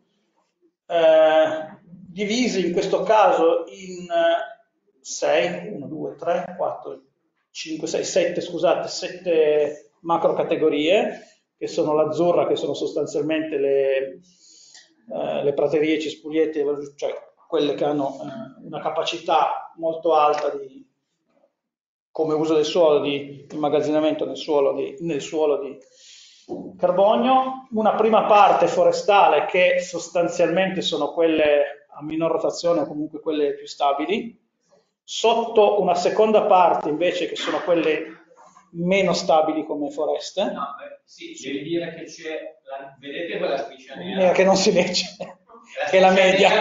È la media, La media. del percentuale, per cui tutto quello che è sopra no, è- ha un potenziale di incremento maggiore Esatto. in cui si fa un cambio d'uso. Se io passo da qualcosa che per intendere a qualcosa che è azzurrino verde, questo è, è l'incremento potenziale fatto on-made, diciamo. Esatto. Però per il Piemonte effettivamente i numeri sono quelli. Però è ovvio che il robinetto che ha un utilizzo come dire, di un certo tipo anche dal punto di vista tropico rispetto a un pioppetto, un seminativo non incolto è ovviamente inferiore rispetto a una bettina che nasce e muore così. Il pioppeto è come una cultura agraria, in sostanza.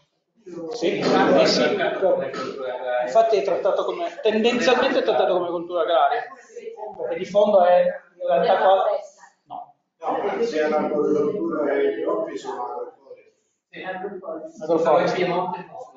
Come vedete, ad esempio, i vigneti sono in questo fase sono molto molto bassi i vigneti, a meno che non ci siano le operazioni di erbivento o attività simili.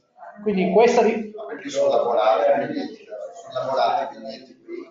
Storicamente sì. Storicamente sì. Adesso sta cambiando. Sta cambiando- Diciamo, 20, 20 anni fa era 100% Sì, lavorati, lavorati. in pendenza. Neanche, neanche alternato. No, no, no. no, sì. Adesso l'inerbimento sta diventando Tende- eh, tendenzialmente ovviamente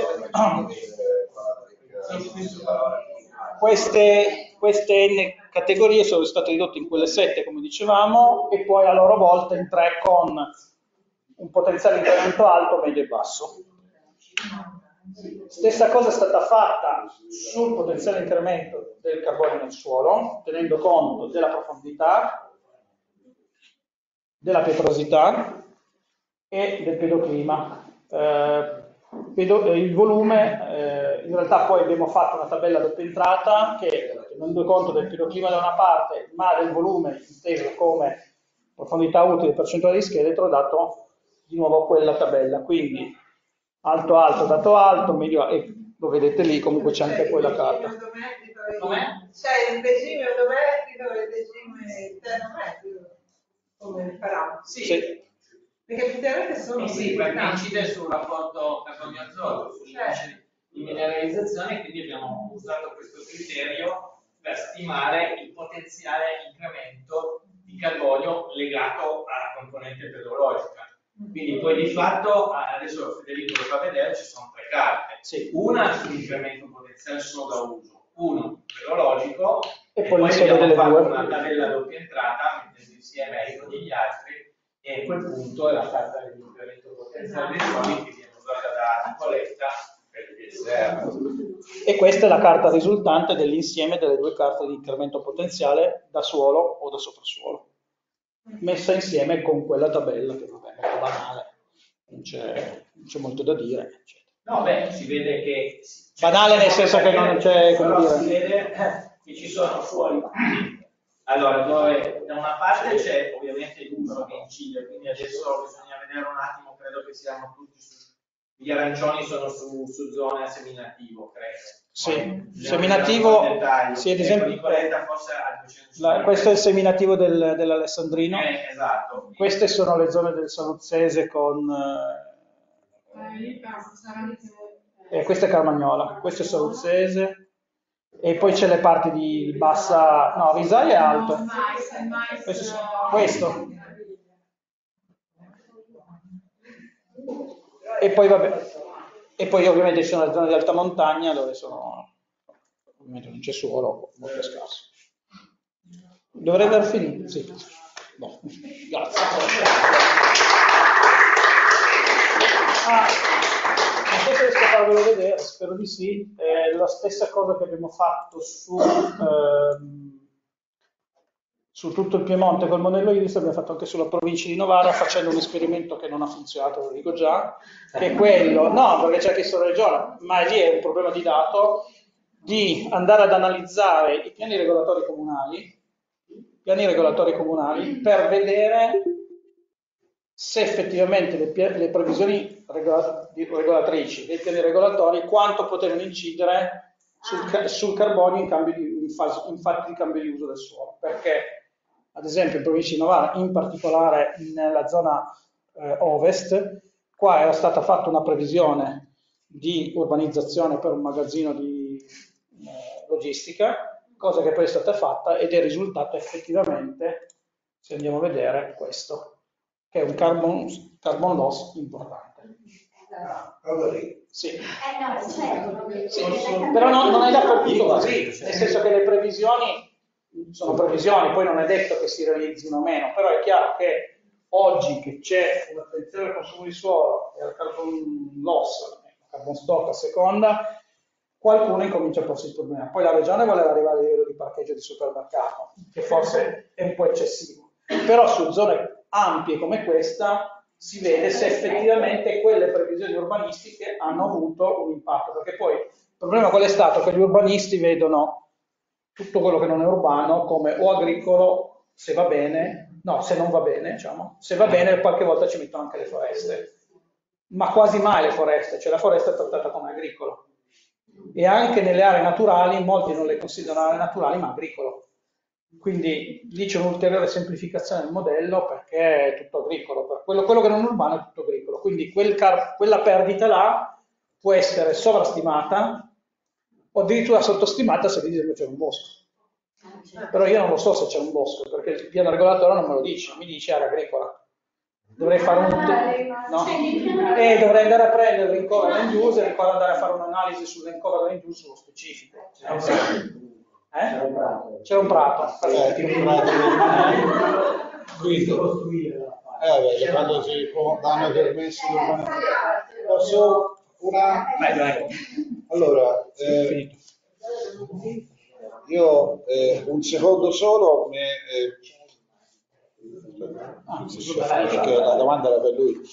Eh, allora, dunque, io non voglio fare come ricercatore l'avvocato del diavolo, diciamo, in questo senso, però si fa le domande sul discorso. Allora, eh, in tutte queste valutazioni, sia quelle dello SIG, ma anche quelle nazionali, piuttosto che anche questa è molto interessante, c'è il problema che dalle aree sperimentali noi abbiamo visto eh, del- dell'andamento del carbonio, degli stock di carbonio nel suolo, le aree sperimentali di, di long term che ci sono, che abbiamo anche al CREA, ci dicono che nel medio e lungo termine, anche con lo stesso tipo di gestione, ci sono variazioni di carbonio statisticamente significative.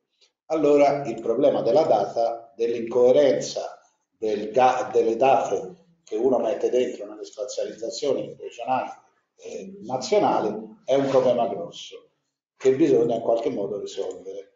Nel senso, se io metto dentro eh, i profili eh, diciamo che vanno dal 90 al 2015 al 2020, ci stanno dentro 10-15 anni e di fatto io eh, non ho la sicurezza che questi 10-15 anni sia cambiato perché sono dei tempi comparabili col discorso che noi vediamo nelle sperimentazioni di lungo termine, quindi ci sono variazioni sopra i 3-5 anni ci possono essere variazioni significative.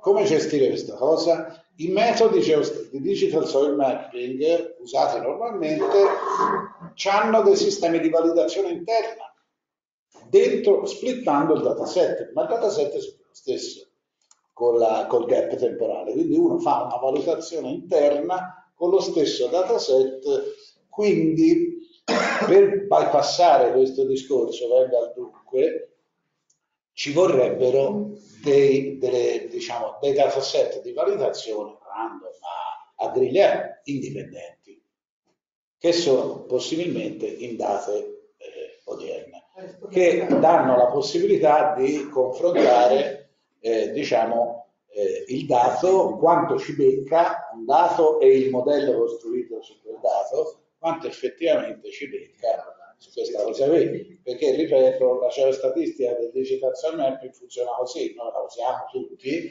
eh, c'è un dataset, lo, lo splitti e uno fa il training, uno fa la validazione, ma è sempre lo stesso dataset sostanzialmente, non è una cosa... Eh, diciamo, la vera validazione vorrebbe in teoria un dataset indipendente che non è quello con cui è stata costruita, diciamo, la, la, proprio perché c'è questo problema della data. Questo è un problema che noi, se espandiamo il discorso a livello della data nazionale, ha maggior ragione. Ora, la mappa della FAO, cioè è una cosa interessante, però per i fini politici è l'Italia è un francobollino nel mondo, va a finire dentro la carta del mondo che viene usata alle grandi consessi per scopi politici, quindi è più il farla per esserci, diciamo, a certi tavoli, però non è una mappa che la FAO ci pianifica e il mondo ci pianifica. Ci si pianifica. Sì, per i paesi in via di sviluppo probabilmente ci pianificano, ma per l'Italia e l'Europa no. Quindi voglio dire, da quel punto di vista è ininfluente. Però se uno deve usare uno strumento a livello regionale di pianificazione...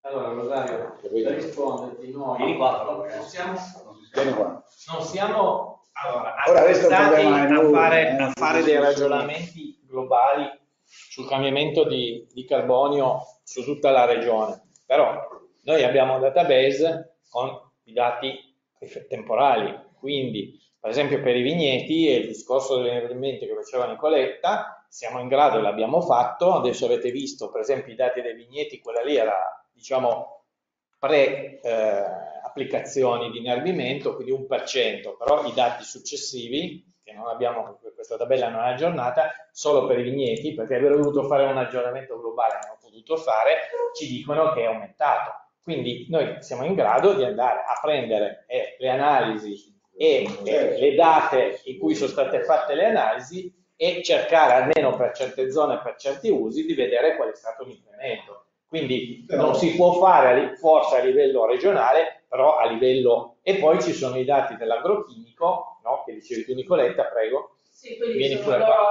i dati di cui parlava Simona ieri. Eh, che sono i dati degli 030 con la loro data di, di consegna, eccetera, eccetera. No, io volevo aggiungere una cosa, non è tanto una pianificazione quanto un orientamento alla, alla pianificazione, quello che ci chiede la Regione, perché le misure sono ad adesione volontaria. La Commissione ci dice, misure agroambientali, teoricamente tutti i richiedenti devono avere diritto a ricevere, a, a poter aderire se hanno i requisiti.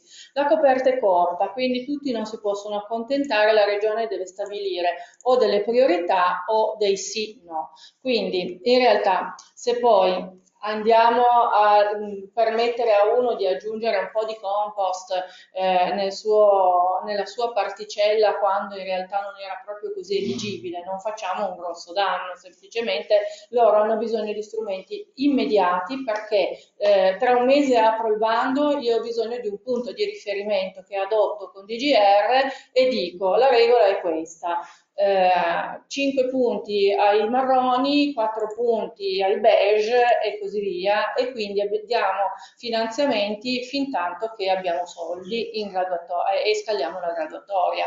Quindi anche se la, non abbiamo una carta che ci acchiappa a livello di particella in modo preciso, l'importante è che il legislatore abbia un termine di riferimento da poter adottare per stabilire dei criteri di priorità. Ecco, questo è un po' la, il, il, succo della questione. Meglio che niente, poi io lo voglio tutto subito, ecco, lo voglio subito, lo voglio esteso su qualsiasi particella eh, che mi faccia una domanda. Vedete, Federico, fai vedere il problema, il problema dei Comunque, sì, volevo, volevo dire una cosa che merita a quello dice Rosario, perché allora io ho presentato le due carte, quella del 2010 e quella successiva, no?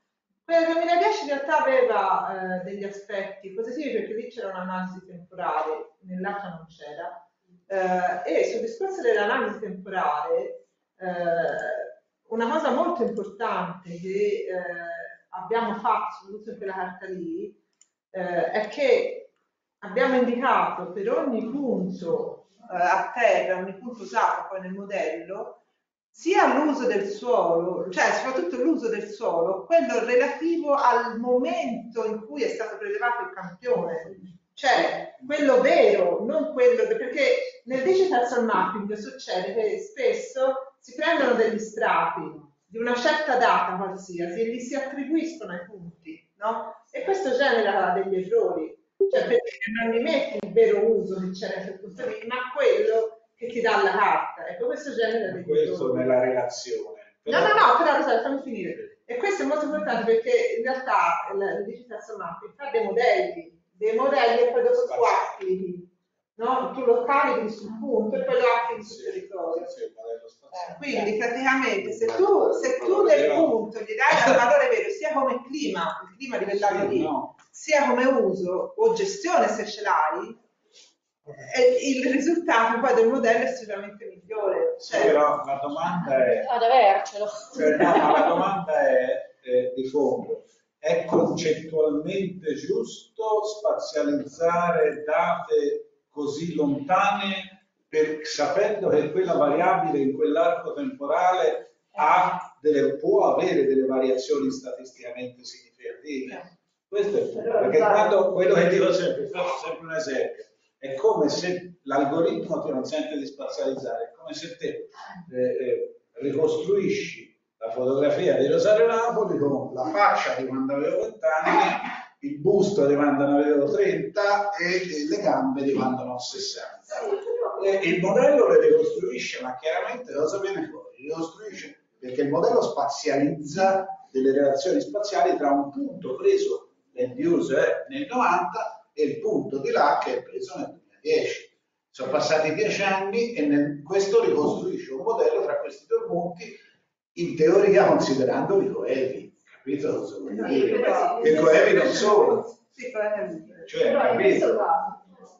cioè, Spazialmente, evidentemente- cioè il modello ragiona in termini spaziali e spazialmente le considera spazialmente coevi, ma in realtà Però no, idealmente, non lo so. idealmente anche nella ricerca vorremmo avere tutti i dati possibili. No. La, la cosa No, no, io migliore sto parlando che concettualmente concettualmente non è corretto, però Perché? tu quando devi dare un risultato a un, eh, a un ente che, che deve pianificare oppure che deve avere una base di dati per risolvere certi ci sono- problemi, tu devi lavorare con i dati che hai Ma e quindi alla fine, secondo me, è meglio una eh, buona specializzazione, un, un buon metodo un po' approssimativo, però sai che hai usato dei dati di partenza buoni perché li ho prodotti io. E vai a delle approssimazioni perché conosci, piuttosto che andare così a mettere dei dati in caso. No, no, perché alla eh, fine tu gli devi dare un risultato che ha un senso, quindi loro conoscono benissimo il territorio, quindi va benissimo. In teoria avere ogni dati di ogni anno sarebbe perfetto. No, no, ma in questi due giorni abbiamo messo a punto e abbiamo tutti mostrato delle tecniche con cui possiamo risolvere questo problema. Certo. Perché l'aggiornamento modellistico dei modelli calibrati Però si può secondo fare me e da- poi aggiornare all'oggi modellisticamente tutto. Mi permetto solo di fare Capito? due, due, Sì, due- il due- ragionamenti. Maria Rotanzo, scusate, che c'è la possibilità di aggiornare con la modellistica opportunamente tarata e calibrata localmente, di aggiornare e portare i dati del 90 all'oggi, portare i dati del 2000 all'oggi, portare i dati del 2020 all'oggi e poi spazializzare tutto. Mi permetto solo di fare un ragionamento di questo tipo. Una cosa è dire, io parto, come diceva eh, Silvia, da dei dati certi di uso del suolo. Per cui io faccio un'analisi dicendo, se io devo dire al mio pianificatore, devo fare, che ne so, ehm, cosa faccio? Un bosco, un prato, una cultura o un, un capannone? Da qui ai prossimi X anni, poi non so se lo farò mai. Allora, se io parto da dei dati più o meno certi, dico più o meno certi, che sono dati storici di uso del suolo, ti dico, i dati storici mi, dic- mi dicono che oggi io faccio una scelta oculata se ci metto un bosco, probabilmente, però quella roba lì la devo lasciare almeno 12 anni, se no non cambia Stiamo parlando della spazializzazione che fai oggi sul dato di un profilo fatto nel 2000. Ma attenzione, nel 2000. però- Te dici che quel dato di carbonio è certo, io ti contesto il concetto di certo, perché te oggi nel 2023 quanto carbonio c'è in quel suolo? No, devo rifare. Allora, in questo caso dovrei, sì, in questo caso Eh, dovrei certo. rifare, ma no, dovrei rifare. No, scusa, ma proprio perché, ma proprio io- perché, proprio perché pianifichi. Io faccio il ricercatore, posso anche permettermi il lusso No, io, allora parliamo, parliamo, No, se pianifichi, aspetta, perché questo discorso va chiarito bene. Se pianifichi, io ho degli esempi, vi porto il caso, l'esperienza personale. Sono stato nominato dal CREA, ok, validatore per il Consiglio di Stato validatore di 15 contenziosi della Regione Puglia sulle misure per, per aziende agricole che sono entrate in contenzioso sulla 10 che stock di carbonio. Perché la regione è andata a verificare e sono venuti dei dati contrastanti tra quello che diceva l'azienda e quello che diceva diciamo la regione. Stanno vincendo tutte le aziende questi contenziosi. Per- perché?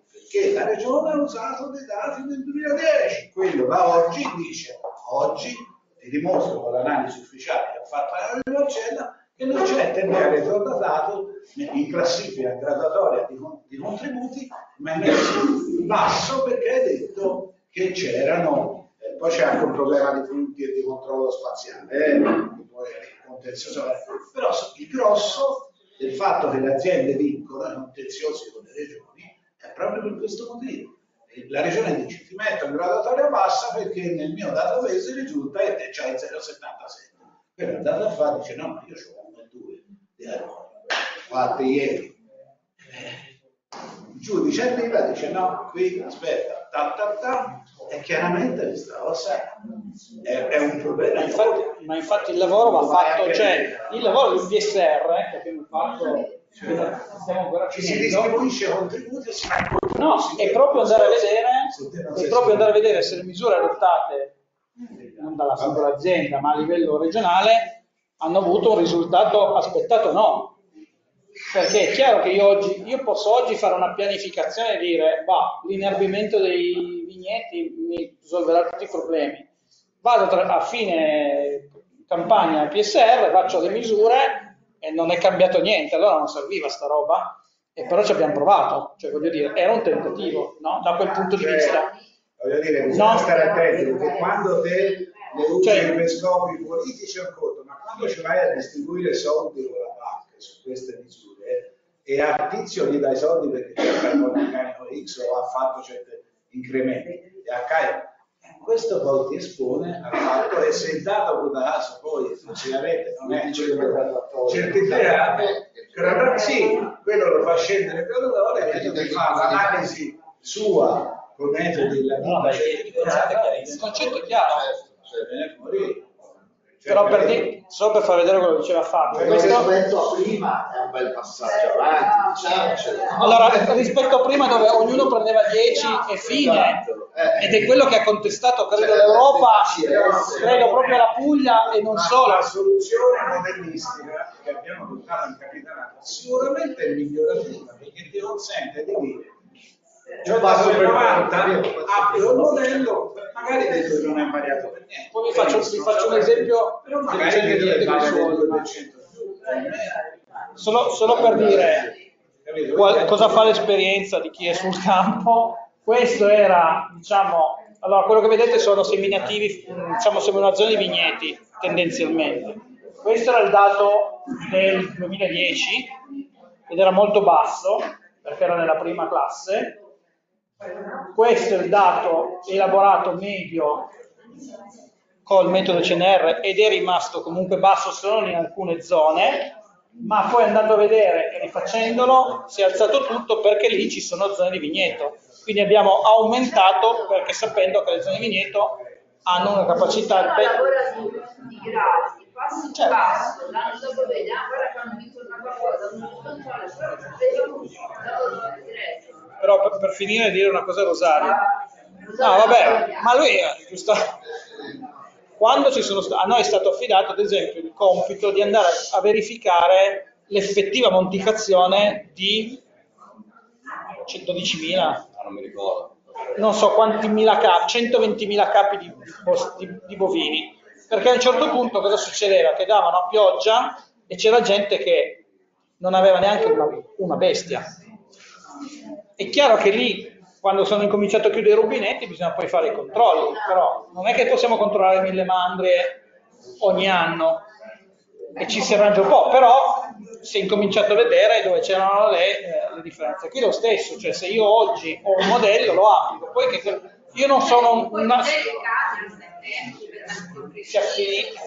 Ma poi io mi ricordo 25 anni fa, cioè 25 anni fa una presentazione a Trento, un modello che diceva con questo modello vi diciamo come cambiare la città di quindi non tenete conto di fattori economici, eccetera. Cioè, è un modello che poi si può affinare. Va bene. Vabbè, direi che se un attimo solo potremmo chiudere, direi. No? Direi che possiamo chiudere, eh, abbiamo risolto tutti i problemi di queste due giorni. Certo, certo, Eh, mi farebbe piacere ringraziare ufficialmente insomma, i colleghi dell'IPLA certo. Che ci hanno accolto veramente con grande cordialità e, e di aver messo a disposizione la loro sede bellissima, complimenti, ma anche la loro professionalità da cui trarremo sicuramente grandi mm, insomma, insegnamenti. Quindi questo è il mio cellulare, già iniziano, appena non ho ancora finito, e già iniziano a chiamarmi. E quindi davvero vi ringrazio e farei un bel Grazie a voi. Noi abbiamo ritirato fuori quello che è avanzato ieri, chi vuole rubare un panino, un tramezzino un po' freddo di frigo, e ovviamente lo può fare, e il percorso prosegue. Sì, però Fabio sul discorso di, blockchain ci interessava, però vedere anche diciamo, se riusciamo a integrarlo magari nei modelli di geostatistici. Ah. Ciao Samantha! Saluti a tutti, grazie.